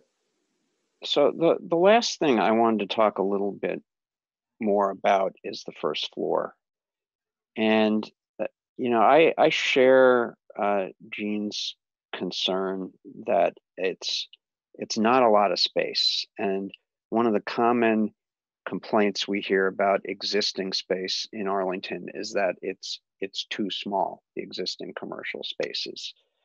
So I I have some I have some concern about that as it's shown on the plan. And now we're talking about potentially, in order to meet accessibility requirements, reducing that further to add an accessible unit. Um, and uh, you know, at that point, I'm I'm beginning to to question whether we're really uh, meeting uh, the intention of the mixed use bylaw. Uh, even though I, I do think, uh, you know, in in a theoretical sense, it would it would be uh, uh, a benefit to have an accessible unit. Um, and uh, with respect to the parking reduction, um, I, I like Gene's um, uh, creative suggestion uh, of adding an affordable unit. I know that's challenging in a building this size, and you're not otherwise required to have an affordable unit, but um, affordability is is uh, one of the top housing issues that that we're dealing with, not not just in Arlington, but the region. Uh, so if there were a way to somehow make that happen, that would solve your parking problem and would uh, help us meet our our goals of having more affordable housing here. And I, I recognize that's a big ask and very complicated in a project of this size. But uh, I, I, thought it was an interesting suggestion uh, to think about. That's all I have for the moment. Thank you, David. Uh, Catherine? Right, thank you. Um, so I uh, really like this plan. I think it brings a lot to a neighborhood. Um, I live quite close to this project and I'm really enthusiastic about um, something like this coming into the neighborhood. And so um, my comments are really um, to sort of emphasize some of the points that other board members have raised that are things that um, I think either you all should think about or things that I just strongly support that are already um, in the project or things you're already thinking about. Um, so first, I really like the idea of uh, this of bringing it closer to the sidewalk. Um, I think it just knowing that particular stretch, um, it improves sort of the feeling of walkability, um, the feeling of making it more vibrant. Um, and so I think that's definitely something that I would support. I like the idea of adding another accessible uh, unit in the first floor area if that's something that's feasible. Um, more housing is helpful in that area and consistent with some town priorities around having more housing, especially accessible housing. Um, and finally, if it is possible, I do also support um, having a um, just a single driveway rather than the two curb cuts that you currently have. Again, thinking about sort of the town's priorities around pedestrian safety and improved walkability, having fewer places where cars are coming in and out seems preferable from a pedestrian perspective, and I think consistent with town priorities. Um, but thank you. Great, thank you, Catherine. Uh, with that, I, I just want to echo um, what my colleagues identified as well. I don't think I have anything additional to add. I think it was a very thorough review. I do have a list of all of the items that they've asked uh, to be examined before before um, the next the next time we we meet. As it sounds like this will most likely uh, be continued to an, another hearing. So I'll go through those after we open this up for public comment. So unless there's any other comment from the board. Rachel, I, I had, I had one go thing. Go ahead, Gene. I had one thing I forgot, um, having to do with the driveways and maybe this will be resolved if there's a single driveway or not, but I didn't understand where the snow would get piled up during snowstorms. Um, there doesn't seem to be any space that would be available really to do that. And you clearly can't shovel the snow out or plow the snow out on, onto Mass Ave.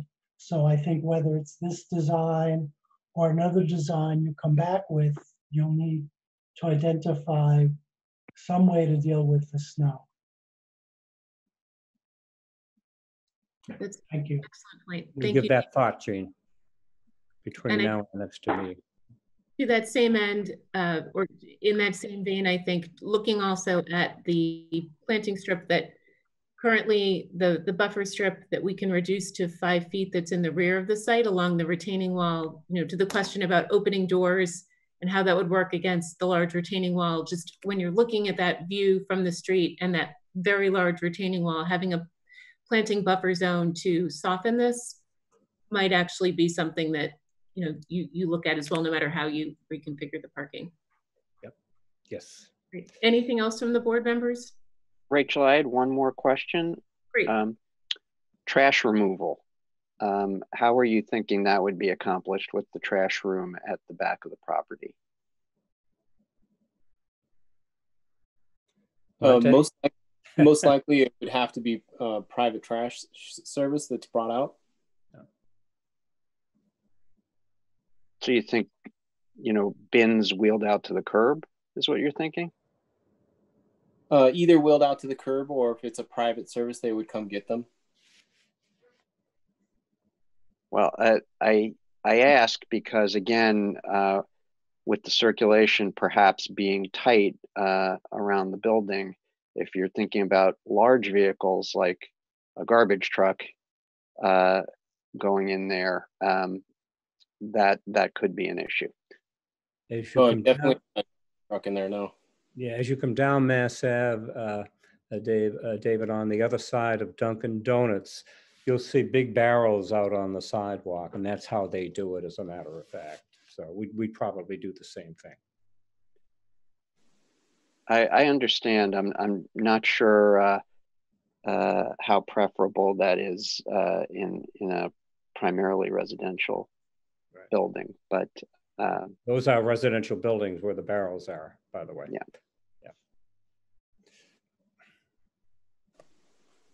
Great, thank you very much.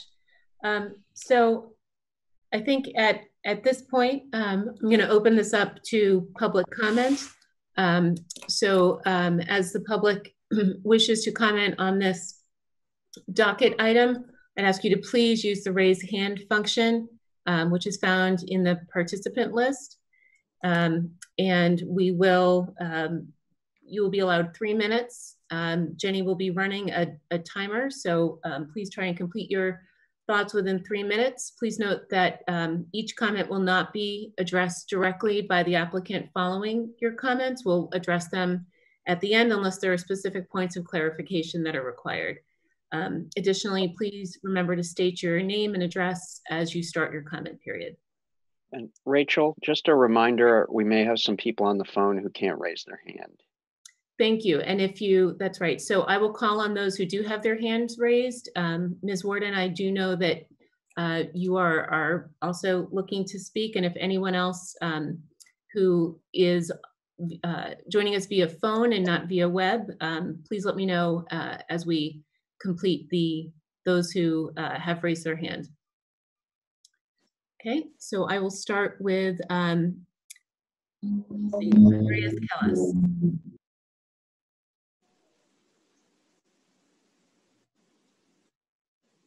Hi, thank you. Um, yeah, my name's Andreas Kellis. I'm the resident at uh, 15 Woodbury Street, directly behind this property.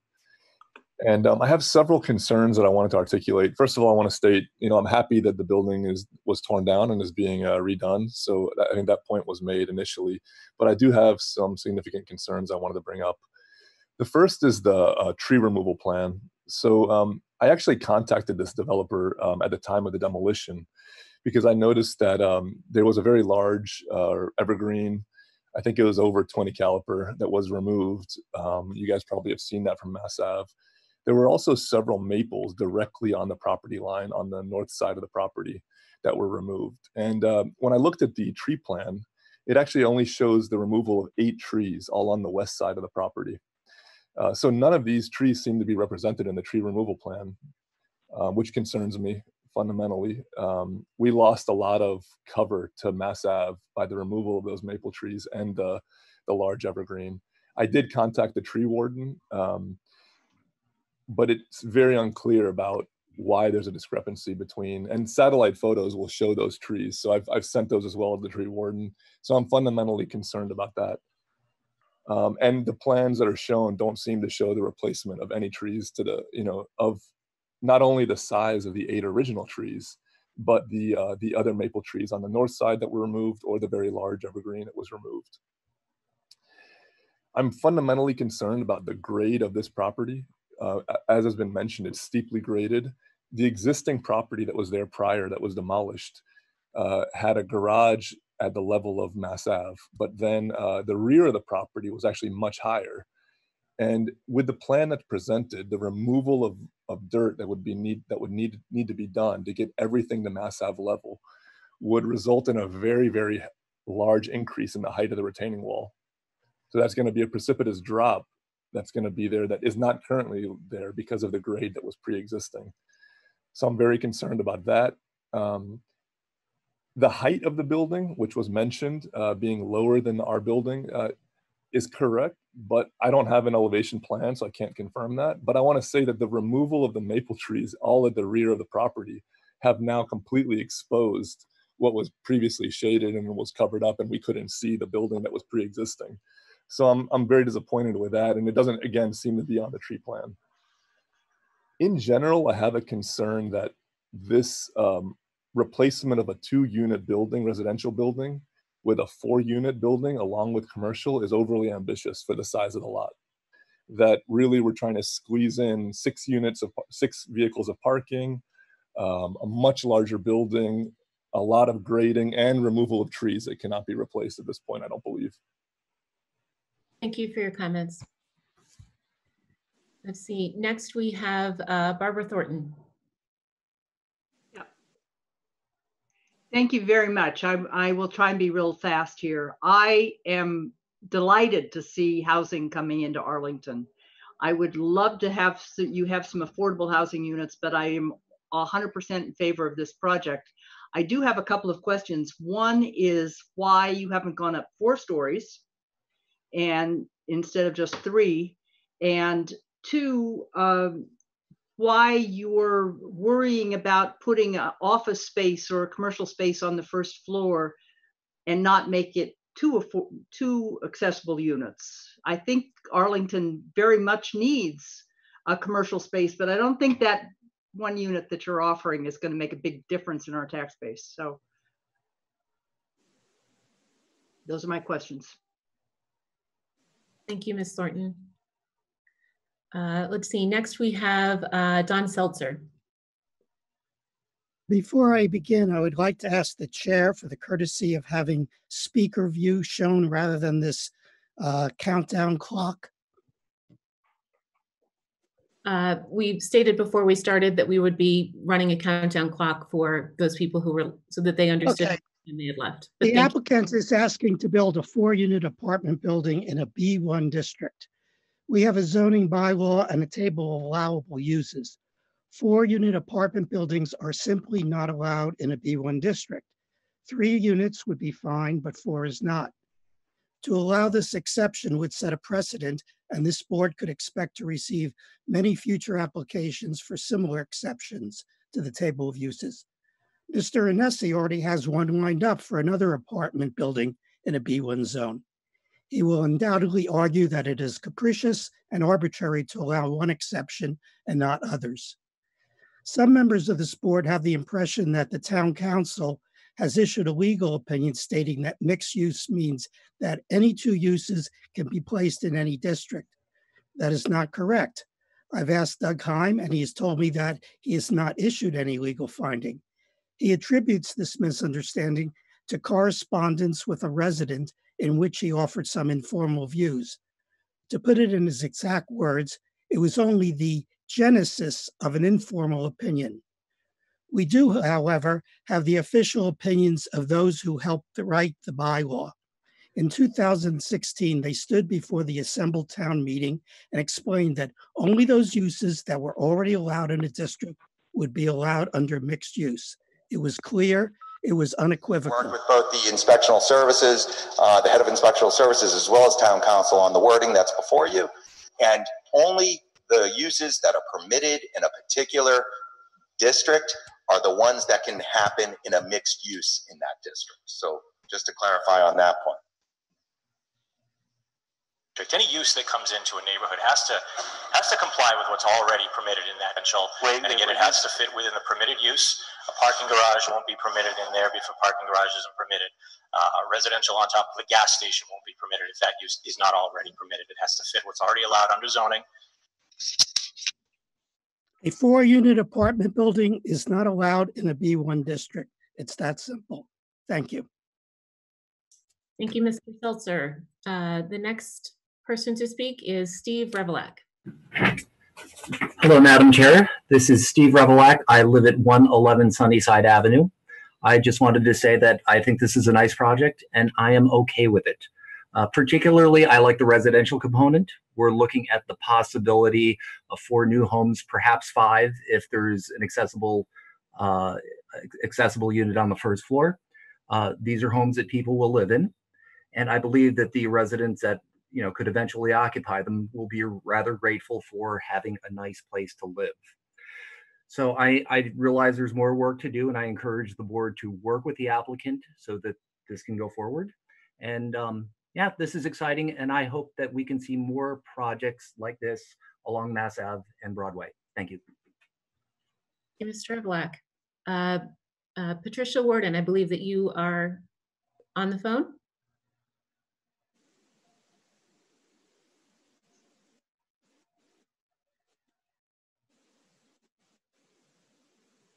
Ms. Worden? I think she's muted. Hello, can you hear me? We can now, thank you. Okay, um, thank you. Patricia Worden, 27 Jason Street. Um, since the time allowed for tonight's hearing is very short, I have written remarks which are already submitted and asked that they be written um, that they be included in my testimony to explain my abbreviated comments here, which are as follows. Um, the project at 1500 Massachusetts Avenue violates the zoning bylaw so badly that it should never have been considered. Tonight's hearing is a demonstration of the ineffectiveness of the planning department and the director of economic development. The proposal need, the proponent needs to present an economic analysis. There are several points I should make. First and foremost, a four unit apartment building is simply not allowed in a B1 district, whether mixed use or not. Secondly, the town has a, rec- a, recognized need for affordable residential units. This project has none, zero.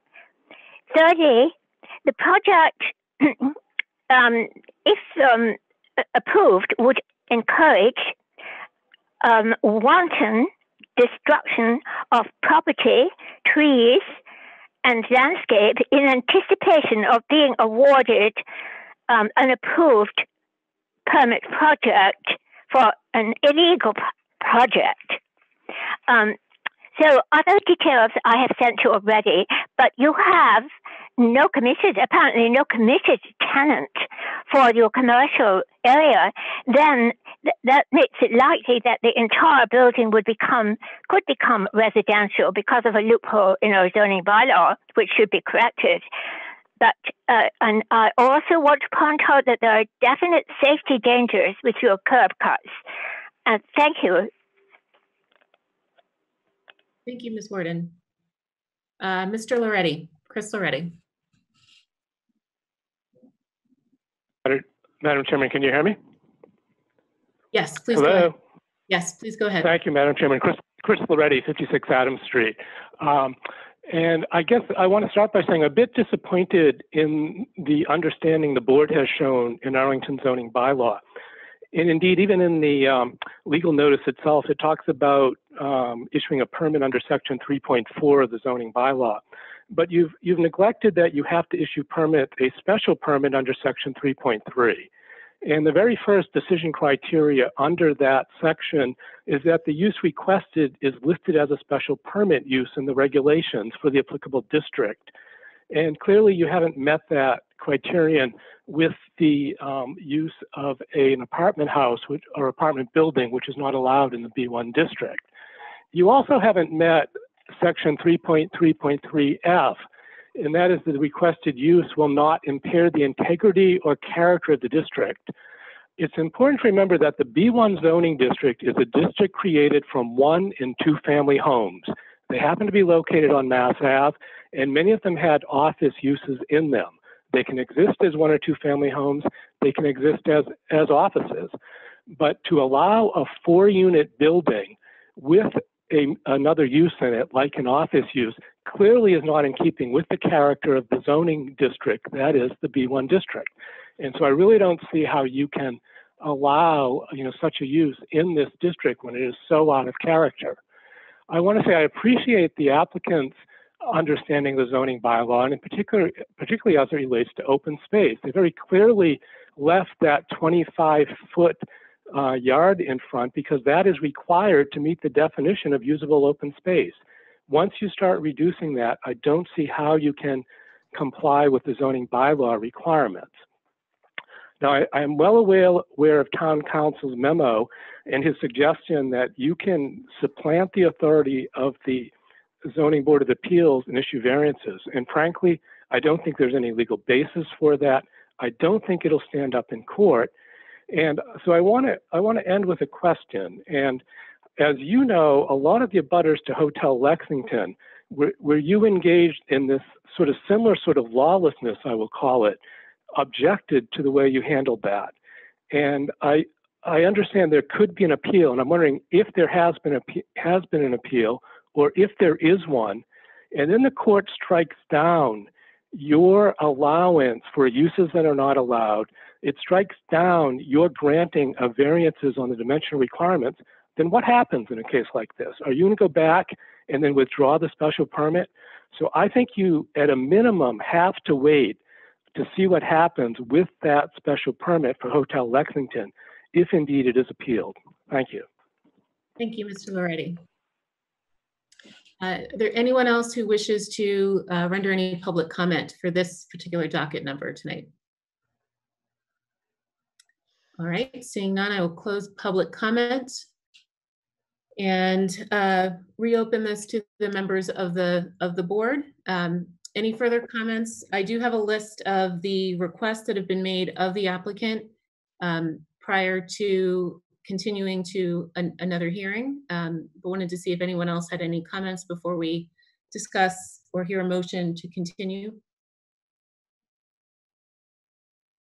Great, I'll just run through my list and um, please jump in and if I have missed any of the major points, I, I just tried to catch the highlights here.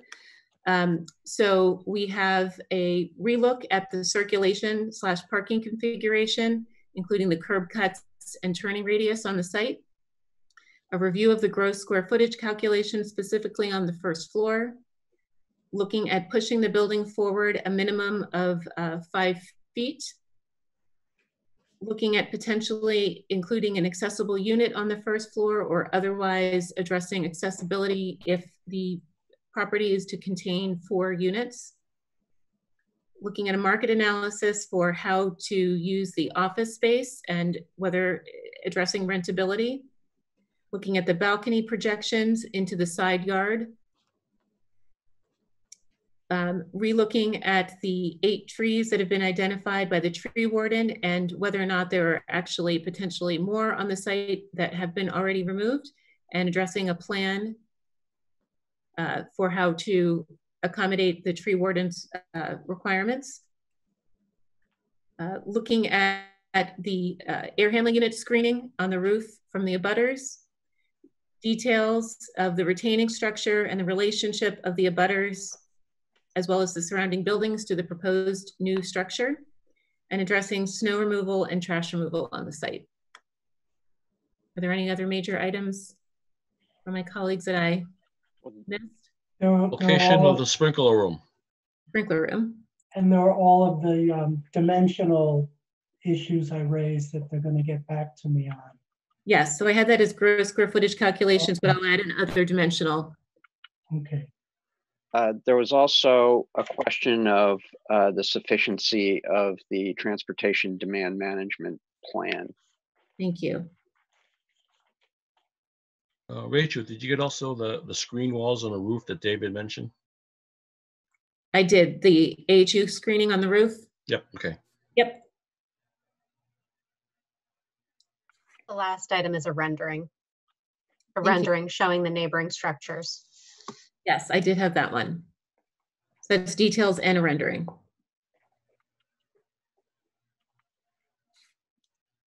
If you're good, I, I, I, uh, so motion. So that's a motion to continue docket 3633.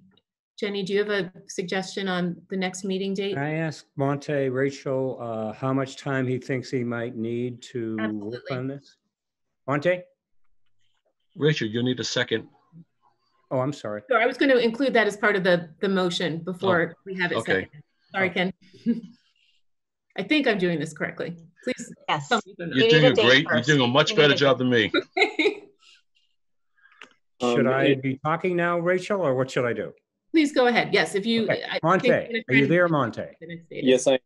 All right, how um, much time do we need? So I think that if, if we're, is it possible to get into the next meeting, I guess is my first question. Because if it is, then we would push to do that, or what is the deadline that we need to submit things by to get into Well, that meeting?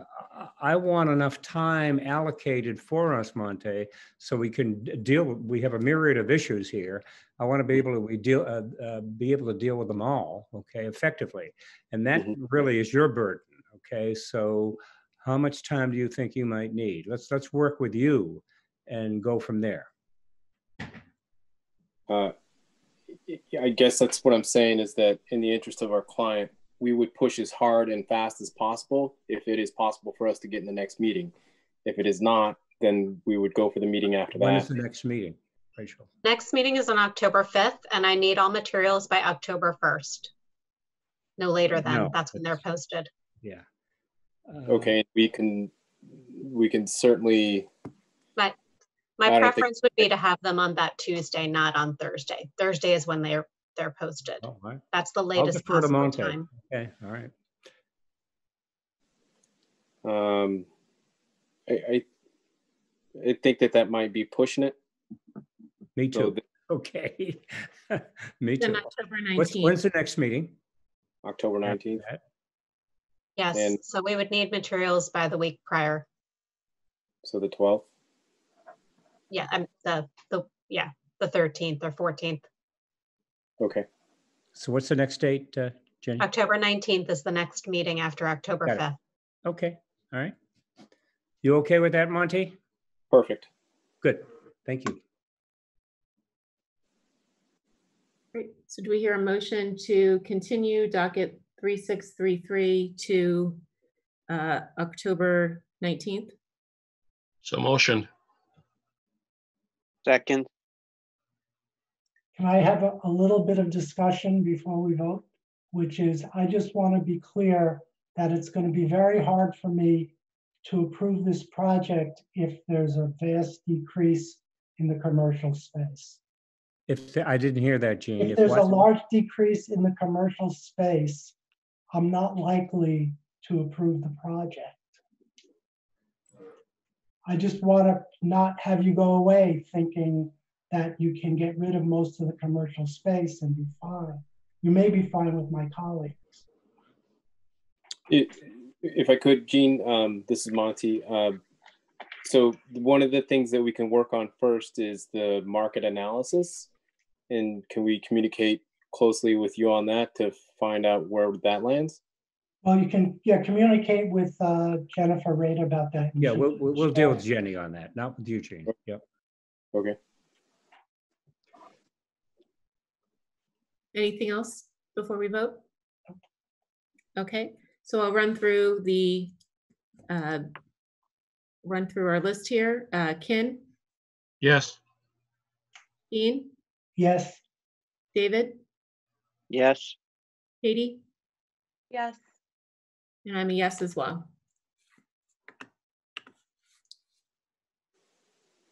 Okay, so that closes, or that continues docket 3633 to October 19th. Thank you very Thank you. much. Thank you all for your time. Okay, let's see, the next item on our agenda is um, uh, 10, or excuse me, 19 R Park Ave, a review of an update on the Minuteman Bikeway connection. Uh, Jenny, do you want to introduce this item?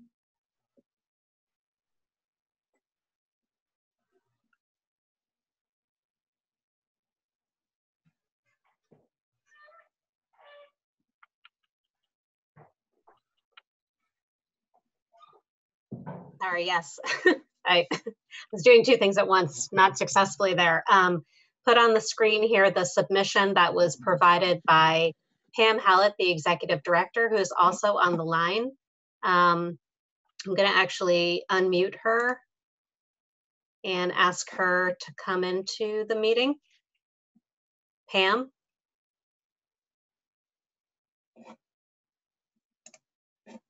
Hmm, not sure where she is. She's right here, but okay, Okay. there we go. Sorry. So, um, so this is similar to when you uh, you reviewed the final plans and spec specifications for this project, as well as 117 Broadway. This is back before you because there's been a change since that last meeting, uh, specifically to 19R Park Ave, and in a manner that I thought was best for the board to review and also understand, um, and allow the applicant to describe what is happening and what what we're hoping will happen with this, but what um, what modifications might be made might need to be made uh, to both the site plan and how that relates to the overall goal, goals of the project. So um, there was also a letter provided by Pam that I've attached to the agenda. Uh, just right now, we're looking at the site plan view. So Pam, Hi, this is Pam Hallett, Executive Director of the Housing Corporation of Arlington. I also live at 1 Gilboa Road in Arlington, and I'm a town meeting member. Um, so what what transpired is um, when we were doing the remediation of the 19R Park Ave site, uh, we had significant cost overruns over well over $100,000. Um, the it turned out that the soil, uh, far more of the soil was contaminated and than we expected, and it was contaminated with PCPs, which needed to go to a significant uh, dump site, uh, which is very costly. So um, as, as we finished up the uh, remediation, we funded a part of that. We had a small contingency of fifty thousand, but we funded the difference uh, from the project contingency in order to con- have it completed.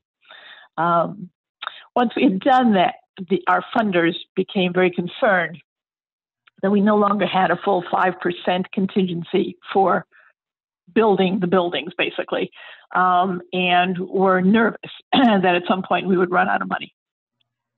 So we um, told them that we would come up with some cost saving measures in order to uh, ensure that we had significant um, contingency funding available. one of those um, possibilities was to, excuse me, uh, not do the bridge um, to the Minuteman Park, um, Bike Pass because that that is an expensive amenity, and it is a community amenity as opposed to something that the um, buildings actually require. And so um, I've had several conversations with Jennifer Raitt, and um, we uh, proposed that as an option to our funders that we would uh, hold off on building the building at this point in order to, if we needed to in the future, uh, com- uh, use out those funds originally designated for the bridge uh, to use them instead for finishing the buildings. Um, the funders were satisfied with that. Uh, we've continued to build. We're now about 35, depending on which building, 35 to 40% complete on the project. Um, and so we spent a lot of time redesigning the, the site to show that um, the bridge, if it's removed, is not going to have a significant impact on the site design to begin with. Um, it also allowed us to reconfigure where fire trucks would come in in the event that we had a fire and that they would be able to come in off of Lowell Street rather than uh, having to go through the easement through the gas station. And that we um, reconfigured the section right by the building B, which is the uh, larger of the two buildings, uh, which would then allow the fire truck to pull all the way in, back into that space by building B and then be able to turn around and pull back out uh, onto Lowell Street. Um, so we've accomplished two significant issues uh, by this redesign. Um, just for you to know, we have received information from the MBTA uh, with many, many uh, restrictions as to what they would be willing to allow us to do. That you know, this had all been in process with them to begin with. Um, we still don't know what they're going to propose as lease conditions um, or overall um, costs on an annual basis. So that is still in process at this point. So we just wanted to bring this to your attention in case uh, at some point we will have to actually take the bridge out officially from the project. At this point, I am having the GC reconfigure any remobilization costs um, and uh, so that we know exactly what we, would be looking for uh, in terms of remaining contingency in order to have the bridge built at the end of construction.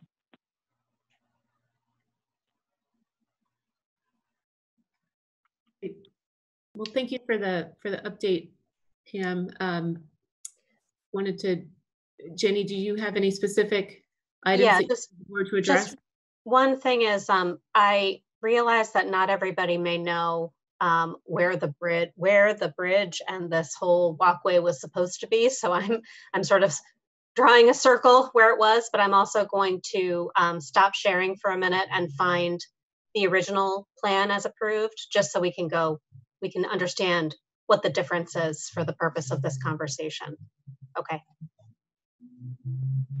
Richard, can I say a few It, it, things? it, yeah, uh, could I just add that the bridge would effectively be coming off that paved uh, section near Building B. Thank you. Thank you, Pam. Go ahead, Kin. Uh, yeah, I was around when this uh, project was approved.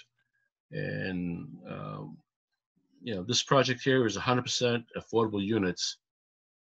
And it's, it's, it's uh, transforming a site that was contaminated uh, and making it non-contaminated. I think this was a great project. And um, I, I- just want to understand a little clearer, Pam. If, if there's money left over on the project, that you would put the, the bridge in. If there isn't any money left over, you would uh, not put it in. That, is that what you're saying? That's basically what we're saying. Now, we are also uh, starting to look for potential other funding, but we have not, do not have any applications in at all for that. So at this point, I would say, yes, that's, that is the point. If we have the funding remaining, we would build it. If we do not, we would not. And would you also say that in the future, you may uh, try to plan to get money to, to build it in the future? Or would you Well- take that future money for other uh, housing projects in Arlington? Uh, I'm I not sure what money. I'm just trying to get a clear essentially-. Well, essentially, what we have um, figured out initially, we didn't think this was doable, is that the build the bridge could be built. It'll be a bit more complicated, but it could be built at the end or after the project itself is completed. Okay, it probably costs more. It will. There'll be certainly remobilization, uh, depending on how long it takes to find that money or have that money and do it. You know, costs always rise, unfortunately. Um, but other than that, it's certainly doable.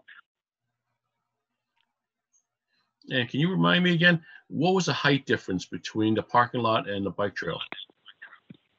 Uh, the par- uh, there's it's uh, ten feet. 10 feet, okay, so it's a pretty good Yes. sized drop.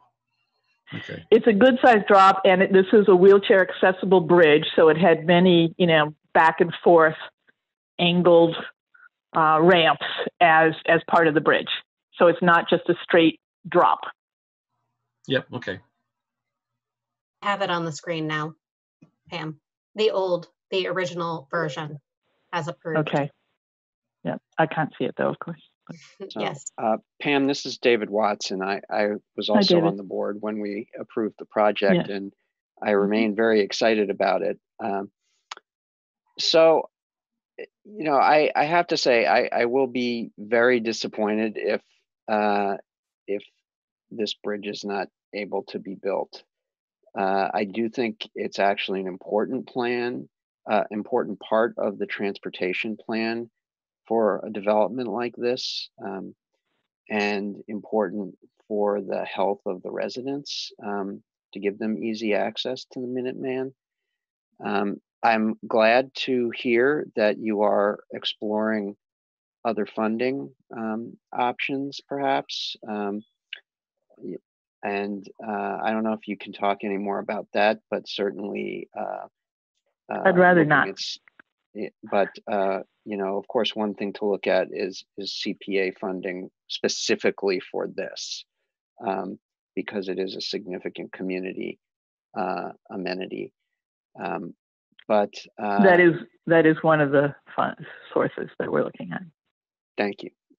Uh, so uh, I I remain hopeful uh, that uh, that you will be able to to find the funding to to get this done in the first instance um, because Mhm. I, I do know the challenges of of trying to get something built after a project is completed.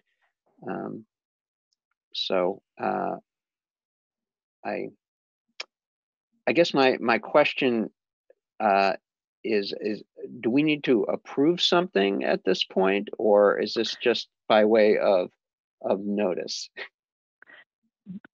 I now, believe this is just by way of notice that we're, there is no decision that has been made. Our funders would also love to have the bridge. They see it as a, also a val- very valuable uh, community amenity, um, which they like. Uh, so um, I, at this point, I think it is too premature for any decisions. Okay. Right, there's not, um, no, there's not a need to vote tonight necessarily on anything. It's also not a formal hearing. So if there is something where we need to amend this condition to the special permit, that would be a, a formal hearing. We'll reopen the, the docket and, you know, have a, a different conversation as a public hearing.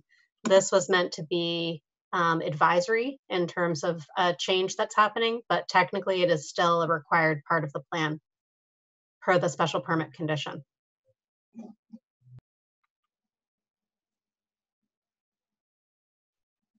Thank you. Uh, Gene or, or Katie, any further comments for Pam? I'll just say I agree with what David and Pam both said, and the CPA applications are available now, Pam. Yes, I'm aware. Thank you, Dee. It's a great project, and yeah, I, uh, like everyone else, I, I hope you're able to find funding uh, to support this uh, infrastructure. But um, it's really exciting to see this come to the neighborhood. Thank you.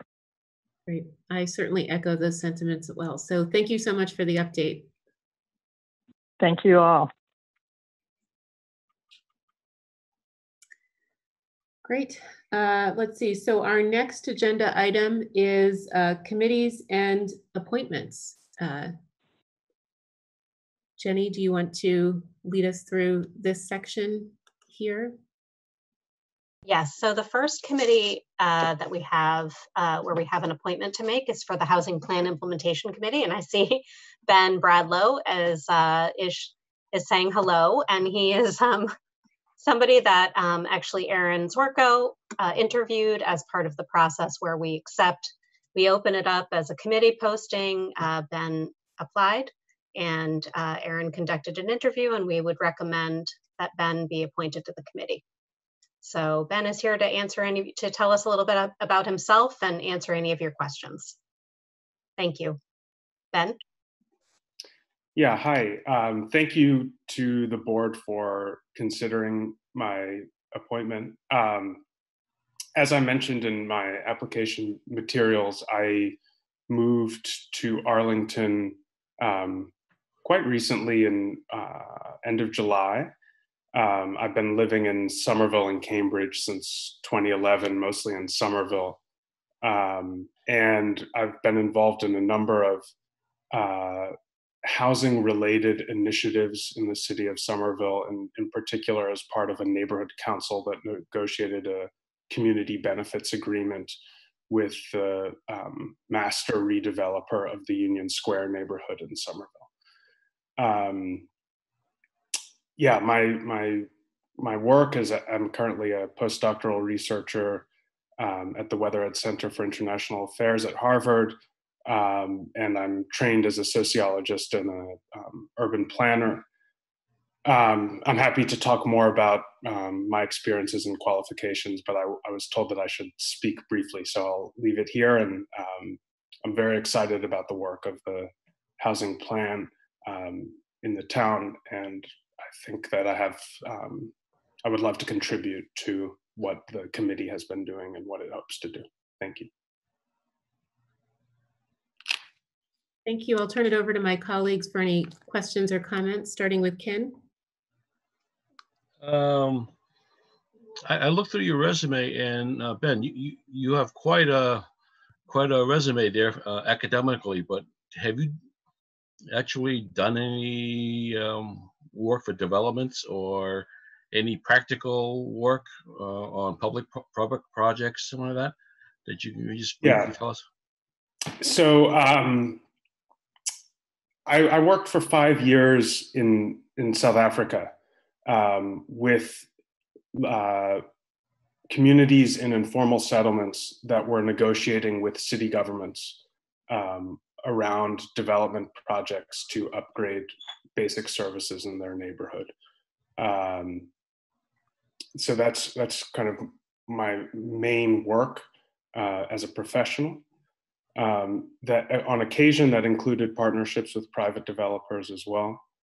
Um, and then in my work in Somerville, we were uh, as part of a neighborhood council. We were, I was part of a team and uh, really leading a team that was negotiating on a weekly basis with um, a national development consortium um, to secure funds for additional affordable housing above and beyond um, the 20% inclusionary zoning that exists in Somerville, as well as a number of other funds for um, job training programs, um, di different kinds of open space conditions.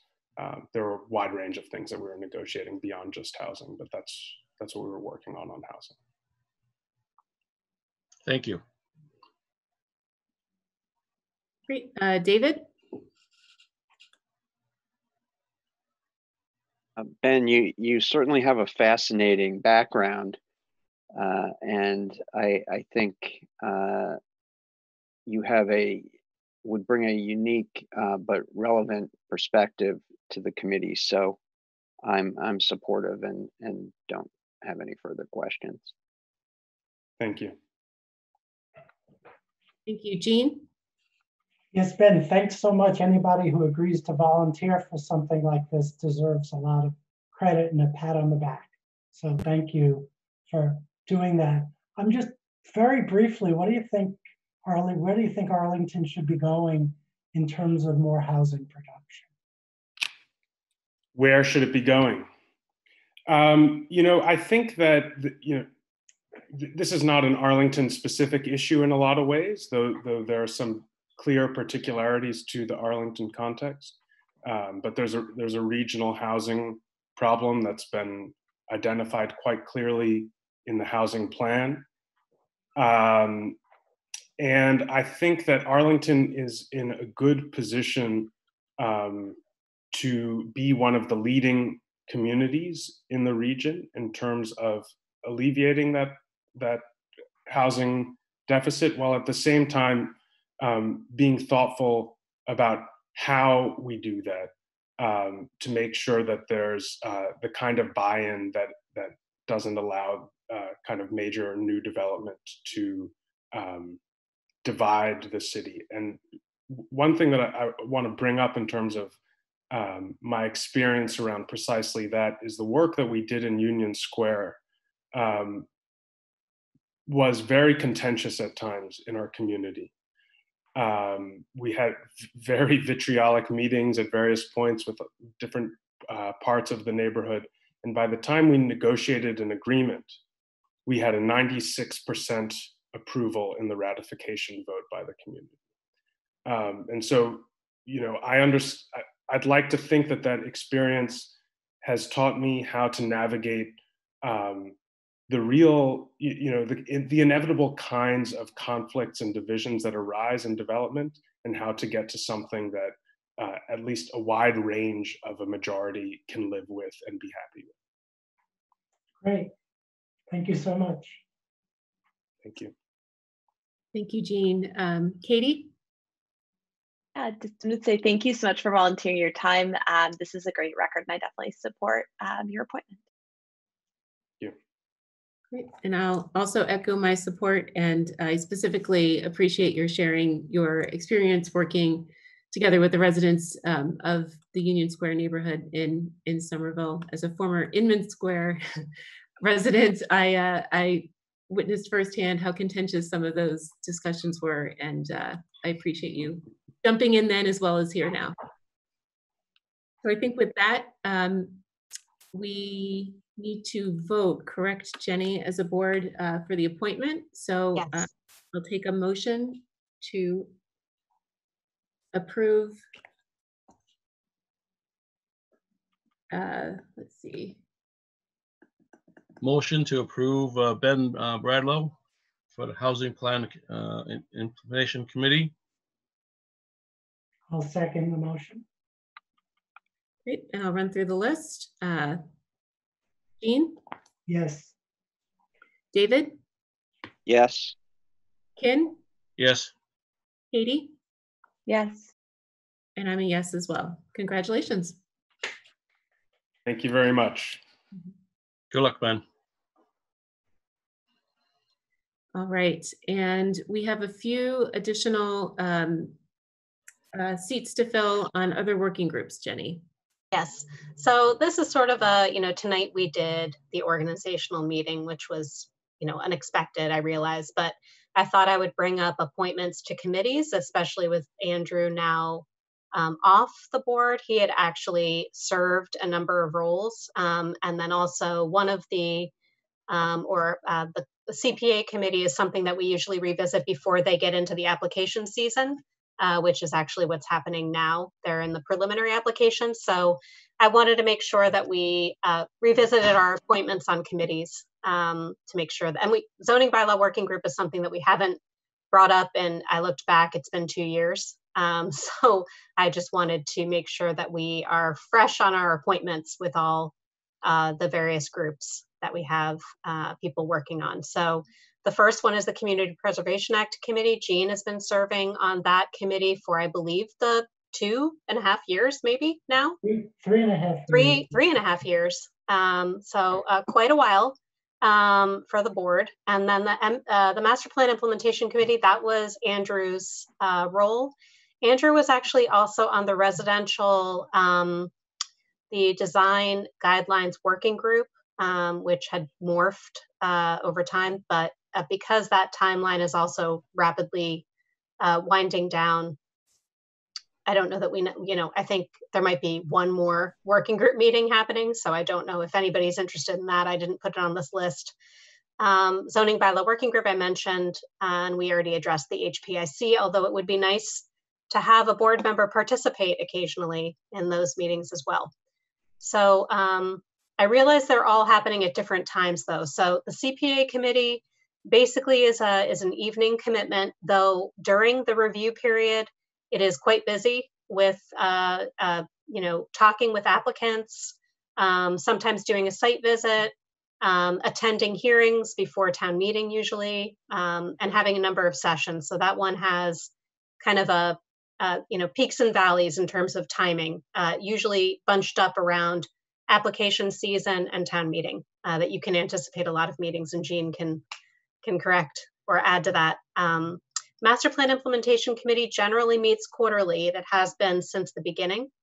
Uh, zoning Bylaw Working Group is basically a, uh, for the most part, a first uh, first, maybe Wednesday of the month, I think, in the morning, uh, for as long as I can recall, although occasionally there are additional meetings as well for that group. And HPIC, generally speaking, is meeting now the first Thursday evening of the month. Design Review Working Group is uh, has sporadic timing, so um, I can talk about that if necessary. So I'm looking to just get a sense of which board members intend to participate on these various groups and committees or reaffirm the people who are participating. Thank you. So should I start? Go for it. So when I got on the redevelopment board three and a half years ago, Kin said, be on the Community Preservation Act Committee. I don't want to do it anymore. So I said, sure. If somebody else wants to do it, um, I'm happy to give it up for somebody else. I'm also happy to keep it. As Jenny said, the um, the process pretty much starts now with the application going out. We get preliminary applications back, I think sometime in October. We have some meetings, we review them. We decide which uh, applicants uh, we want to put in a full application. Sometimes have to consult with the applicants about what we think they should be doing. Then the applications come in, we review them, we do site visits. Some people talk to some of the applicants, then there are public hearings. And then we have votes on um, which um, projects to recommend approval to town meeting. Fortunately, in the time I've been on it, we've never had a disagreement about what any of the votes, and we've always had enough money for all of the applicants that have turned out with applications. At the end, a couple have gotten weeded out along the way. So, so far that's been fine. Each year we think there won't be enough money for all the applications, but so far there has been.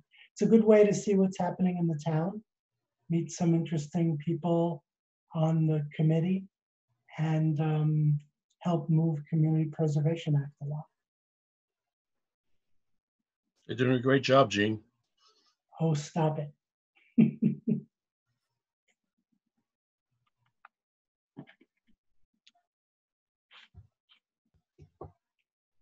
So I'm Should I willing, go next? I was gonna say, I'm willing to trade with somebody or I'm willing to keep it. Go ahead, David.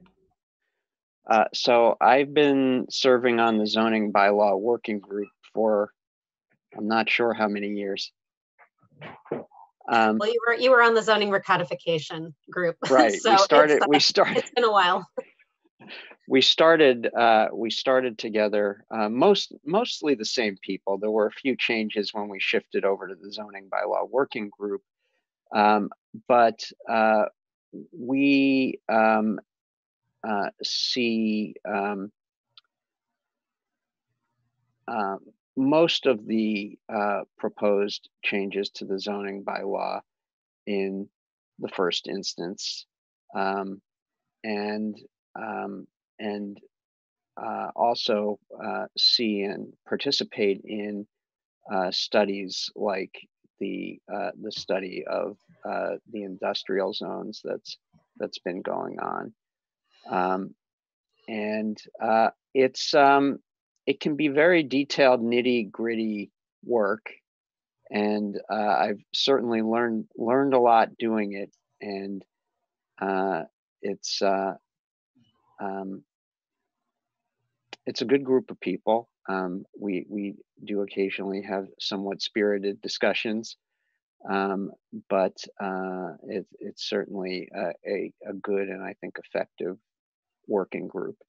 Uh, so I'm happy to continue doing that since I, I for whatever reason, continued to be interested in in uh, zoning details. Um, but uh, as Gene said, if anyone has a deep desire to uh, to tackle the zoning bylaw, uh, I I would entertain stepping away from that.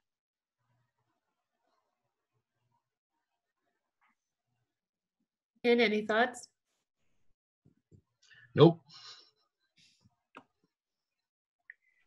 Okay, uh, Katie, any of these openings or groups that sound like something you'd be interested in jumping into or learning more about? In uh, in a world where my kids were older and we weren't in a pandemic that's messed with my childcare totally um, but i think right now this this is the max commitment i can offer right now with a six year old and a four year old so Great. And uh, with my six-year-old and just putting my head in the sand about what's about to happen with his three days of remote education, I, I feel similarly. I think the only thing I potentially might be able to take on is to, um, if we need to fill the seat for the master plan implementation committee, given that that's quarterly, that's probably the most that I could probably take on, even though I did promise my family I would take on no more volunteer positions. So, Does anyone else have an interest in either the master plan implementation committee or the housing plan implementation committee? It looks like Jenny, if I'm incorrect, if, if Gene and David remain on their particular committees and working groups, those are the two that we need to fill tonight? Those are the two. Yes. So does anyone have a specific interest in the master plan implementation committee or the housing plan? Don't think I got the time right now. No. um, Can we uh, supplement them with staff, Jenny? Well, we already participate. So, um, yeah, both. Erin, Erin has really been attending the Housing Plan Implementation Committee meetings um, as of late. They have been in conflict with other meetings I've needed to attend or other commitments. Um, Master Plan Implementation Committee, we haven't held in a while. Um, so that one's been a little bit on hiatus and needs to be, I think that they are, they do have a meeting next month though. Um, so, uh, I mean, of course, staff always, staff participate in all of these committees and working groups. They're, uh, yes. Uh, but if there's not a board member who can participate, um, for now, we can just sort of come back to this maybe in a few months. Yeah, I'm happy to put my hand up for the master plan implementation committee, given that it's quarterly. Um, you know, at least in an interim until things calm down and perhaps other people are able to take on other commitments. Yeah. I will just say with the HPIC, we are planning to do a housing production plan update. And um, it was very helpful when we had the ARB member participating, Andrew participating in that process during the housing plan advisory uh, piece. So it would be great once that actually starts up to have somebody participating at that time. So we're, we're planning to post the RFP for a consultant to help with that plan soon. Um, and that'll, you know, likely kick off actual work, I would say in a couple months to maybe early next year, just at the rate that we're working. So maybe we can, like I just said, maybe we can revisit this in a few months and somebody from this group can participate. I mean, I'm interested in that, but I think the timing's gonna conflict with the CPA committee. Oh, definitely, yeah. Yeah. It's a, yeah, Thursday night thing, which I think is almost the same time as CPA sometimes. Sometimes. Yeah. Uh, do we need to vote on these individually or, Um, I think you can vote on it as a group. I think that's fine. okay. So we have, um, looking for a motion for Gene to continue on the Community Preservation Act Committee.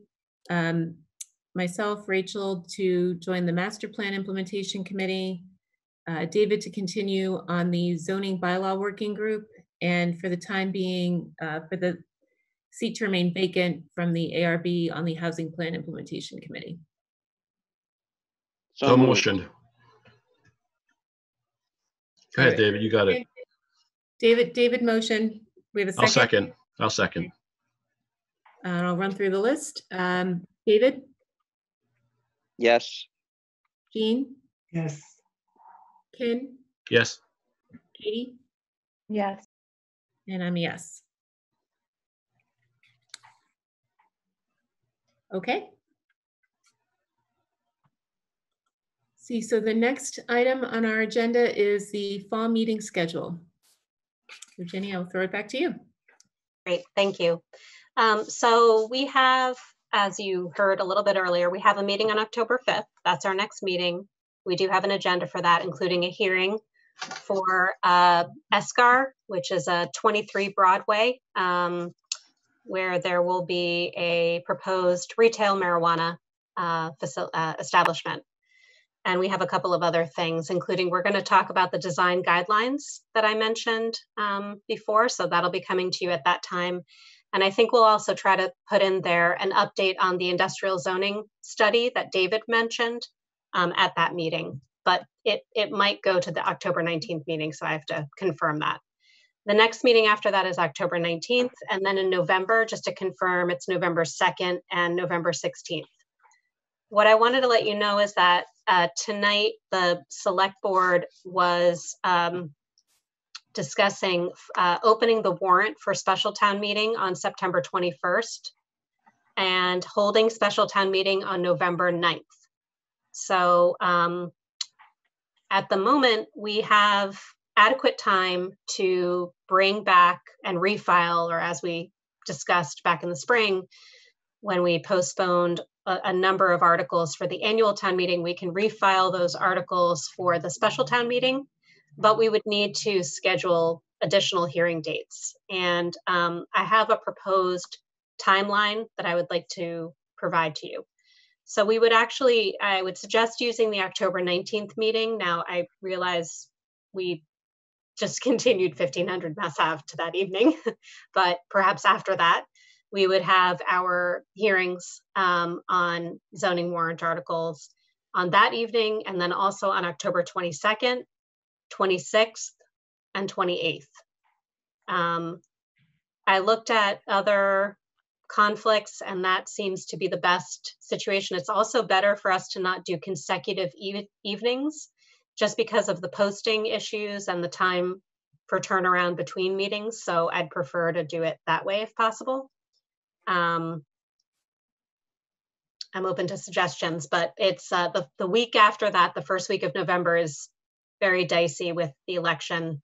And um, I don't know if uh, the third or fourth, or I think it's the, the Wednesday and Thursday is possible, but it is, I suppose, an option, but then we're getting very close to the actual town meeting date. So I don't think that that would be logistically really feasible for us.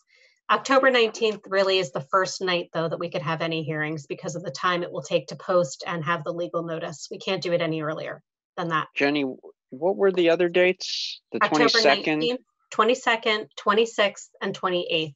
And the special town meeting is on November 9th, which will be Yeah. held Can you virtually. say that one more time?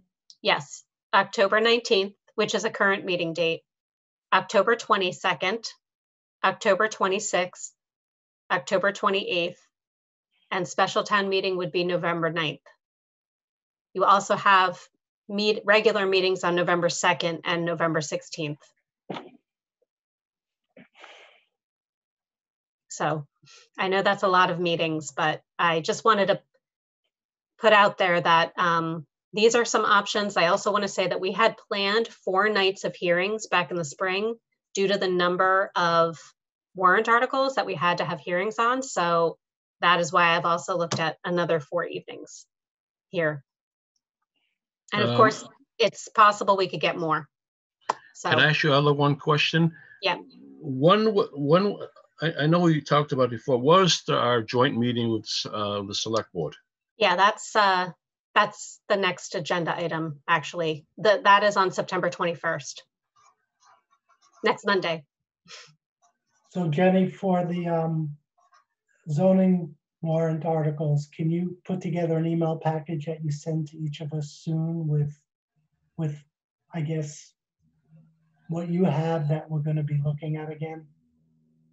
I don't know what it will be other than we would just be refiling, excuse me, we would try to refile what we had in the spring. But the, the warrant is not going to open until Monday and I don't know when it's closing.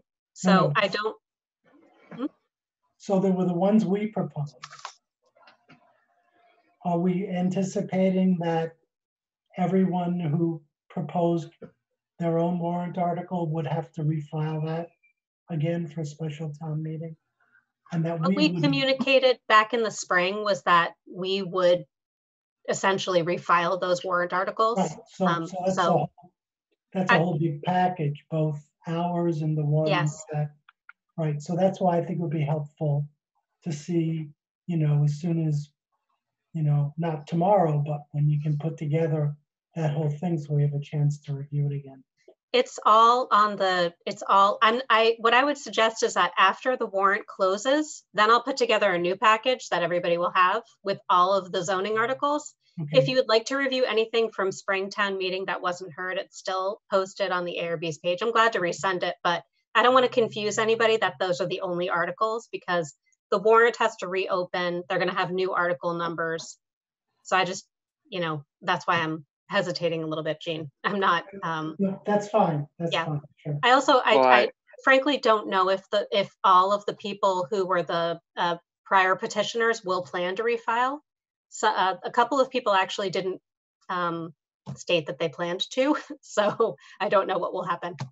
Okay, I, I also want to just go back and refresh my memory because uh, with the passage of time, uh, I'm, I'm not 100% sure uh, uh, we might not want to consider something uh, different from what we were originally proposing.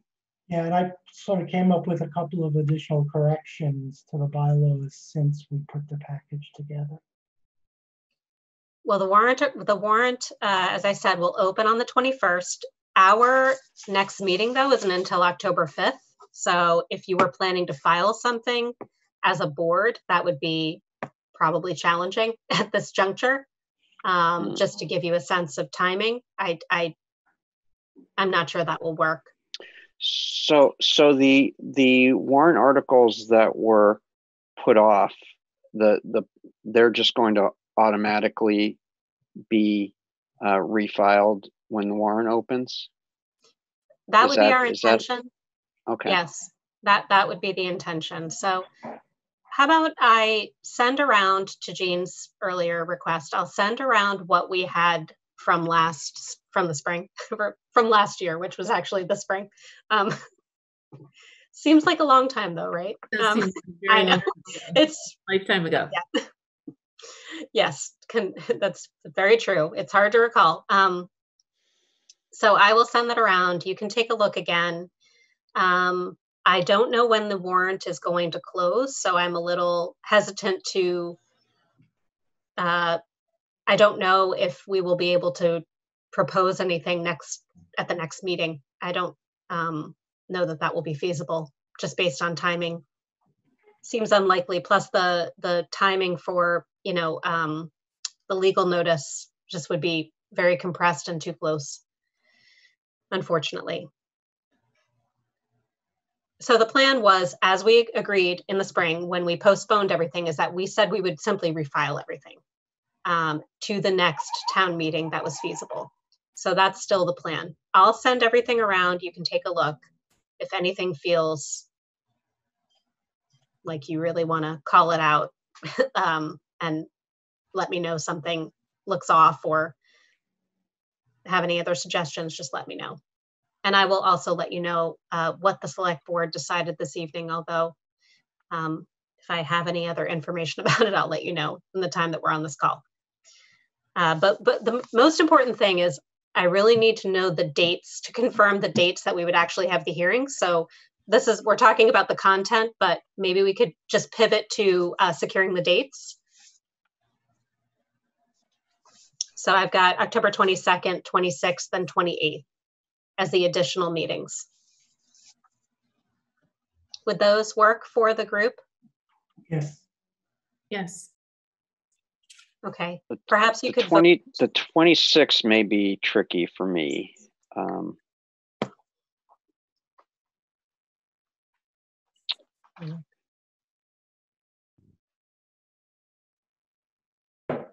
not impossible, but tricky.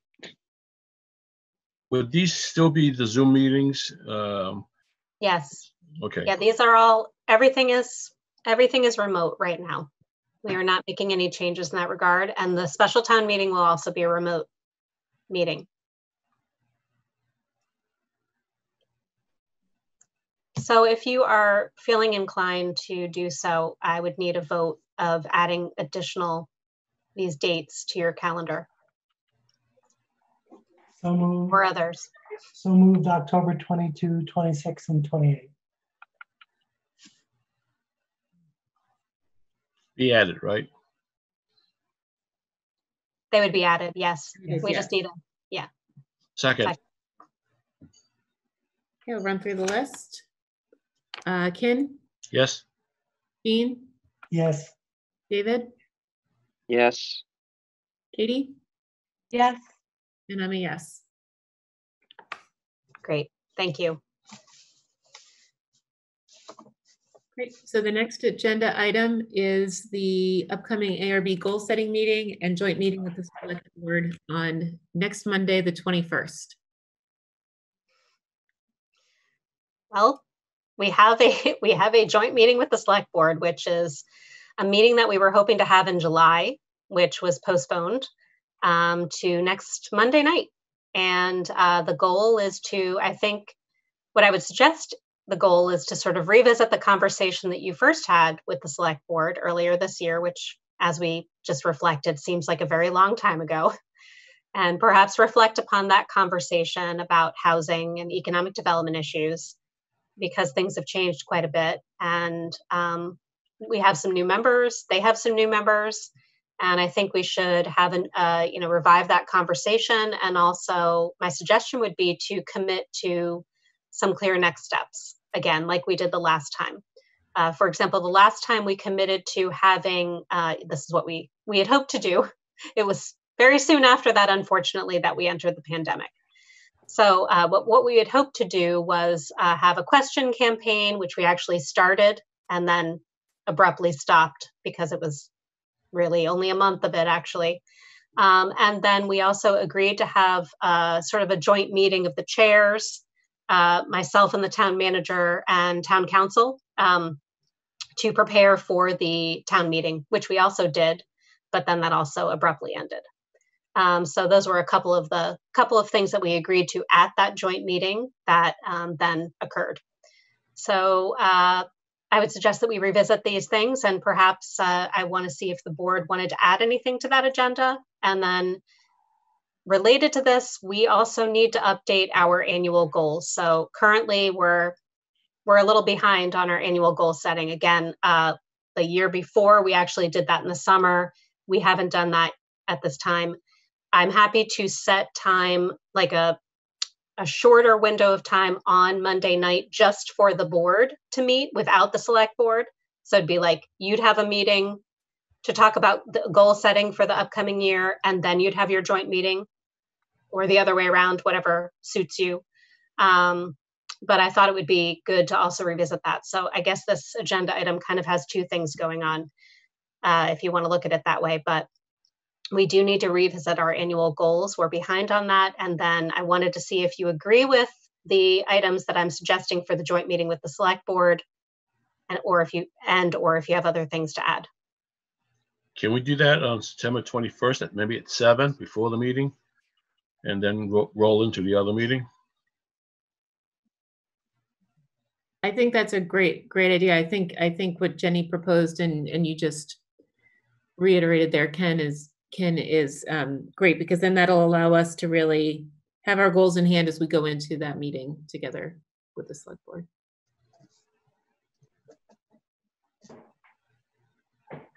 Okay, I, I wish there was a way, uh, which doesn't seem likely given the timing, uh, that we could have uh, a bit of a more relaxed opportunity to talk with each other about that, uh, like we some well some like some of us did the last time. Um, but uh, I, I guess we'll take what we can get at this point. We're not going to be conducting any meetings in person at this time. So uh, based on town policy Right, and how we are handling COVID. right. But I do appreciate that and I enjoyed that goal setting meeting. so is a proposal that we meet by Zoom at seven on the 21st? And then resume with the select board at 8:45? I Yeah. think so. I, I I just will say I have to confirm with, with Adam Chapdelaine, the town manager, just to confirm the, the timing. But if it's, if it's okay with you, I will confirm that we want to meet before the goal setting meeting. I just need to be 100% sure about the timing. So I'm going to have to confirm by getting back to you. Okay. Is to vote on that one? So Um, I- motioned? No, go ahead. We don't No, have to. you, we don't you have to. can you can if you want to. I mean, No. I it's um it's more. I was actually looking to see if you wanted to add anything to the agenda, or if you also confirm that that's you're good with that, or is there anything else you want to make you know that you think we really should talk about with the board? Are we going to uh, revisit the uh, public engagement plan ar- around the housing discussion? Because that, that was part of our original discussion with them. And that all kind of went by the wayside with the pandemic. Yeah, I would suggest that we revisit what we talked about before, including the things that we were committed to doing, to see what we want to salvage or reimagine moving forward. There's also the twist that we're now going to be updating the housing production plan, um, which we weren't doing this this year, um, going into the next year. So there are things that are different, but we should do that. Yeah, I mean, I think, I think we need to figure out how to do the engagement we need um, remotely because uh, the the end of our current situation is uh, is not going to be soon, and um, and I'm I'm I'm very conscious that our our housing issues continue to be a high priority for for a lot of people and um, you know the longer the longer we're forced to wait to uh, address those issues uh, it may add to the difficulty of finding solutions I agree. though i rec uh, though i recognize the difficulty of of doing the kind of um, uh, broad community engagement uh, that we had hoped to do uh, uh, when when zoom is is uh, our primary tool at the moment We've been using other mechanisms for participation for like the sustainable transportation plan and even net zero plan. So um, I think that there are some other things to brainstorm, but it, it, it is basically remote and virtual and very hands off, obviously. Um, okay, I think I have everything I need though. Rachel. The only thing I was going to just chime in with was whether or not there was anything, any topics, although they seem to be a little bit more tactical from the um, town's economic recovery task force that would be um, important for, I know that the select board has been very involved with supporting many of those efforts. And then our, board less specifically so, although again, supporting those who are uh, moving forward with development in the town in such a difficult economic time is something that is important to this board. So I'm, I'm just wondering if there are any topics related to what we're hearing from those business owners in town that we should add to, to the agenda as well. That's a great suggestion. I, I can definitely figure out uh, how we reference that in the meeting. Okay.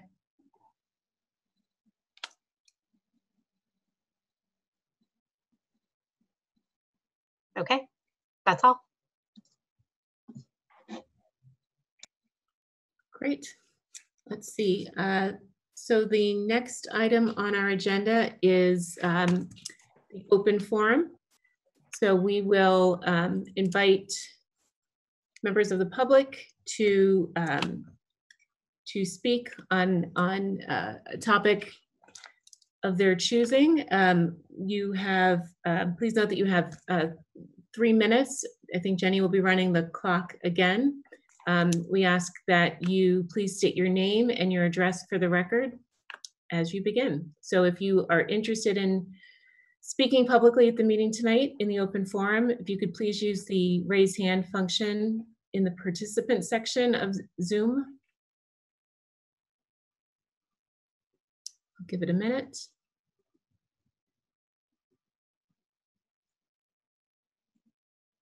All right, seeing none, we will close the uh, public forum section of the meeting. Let's get back to my agenda here. And think that concludes our agenda. So do we take a motion to adjourn? Well, I'd just to like to adjourn. say, uh, well, I'll second that, but I'll uh, also just say congratulations to Rachel and welcome to Catherine. Yes, welcome, Catherine, and thank you, David. Good job tonight, Rachel. Thank you. I hope I didn't screw anything up too. No, I have all the faith in you. Recover from. Great. Thanks. Do we have a second to adjourn? Yes, Great. So I'll run through the list here. Uh, Kin, aye. Gene, Yes. David, Yes. Katie, Yes. and I'll say yes as well. Thank you, everyone. Have a great night. Thank you, Bye-bye. everybody. Thanks. Talk to you soon. Bye. Bye-bye.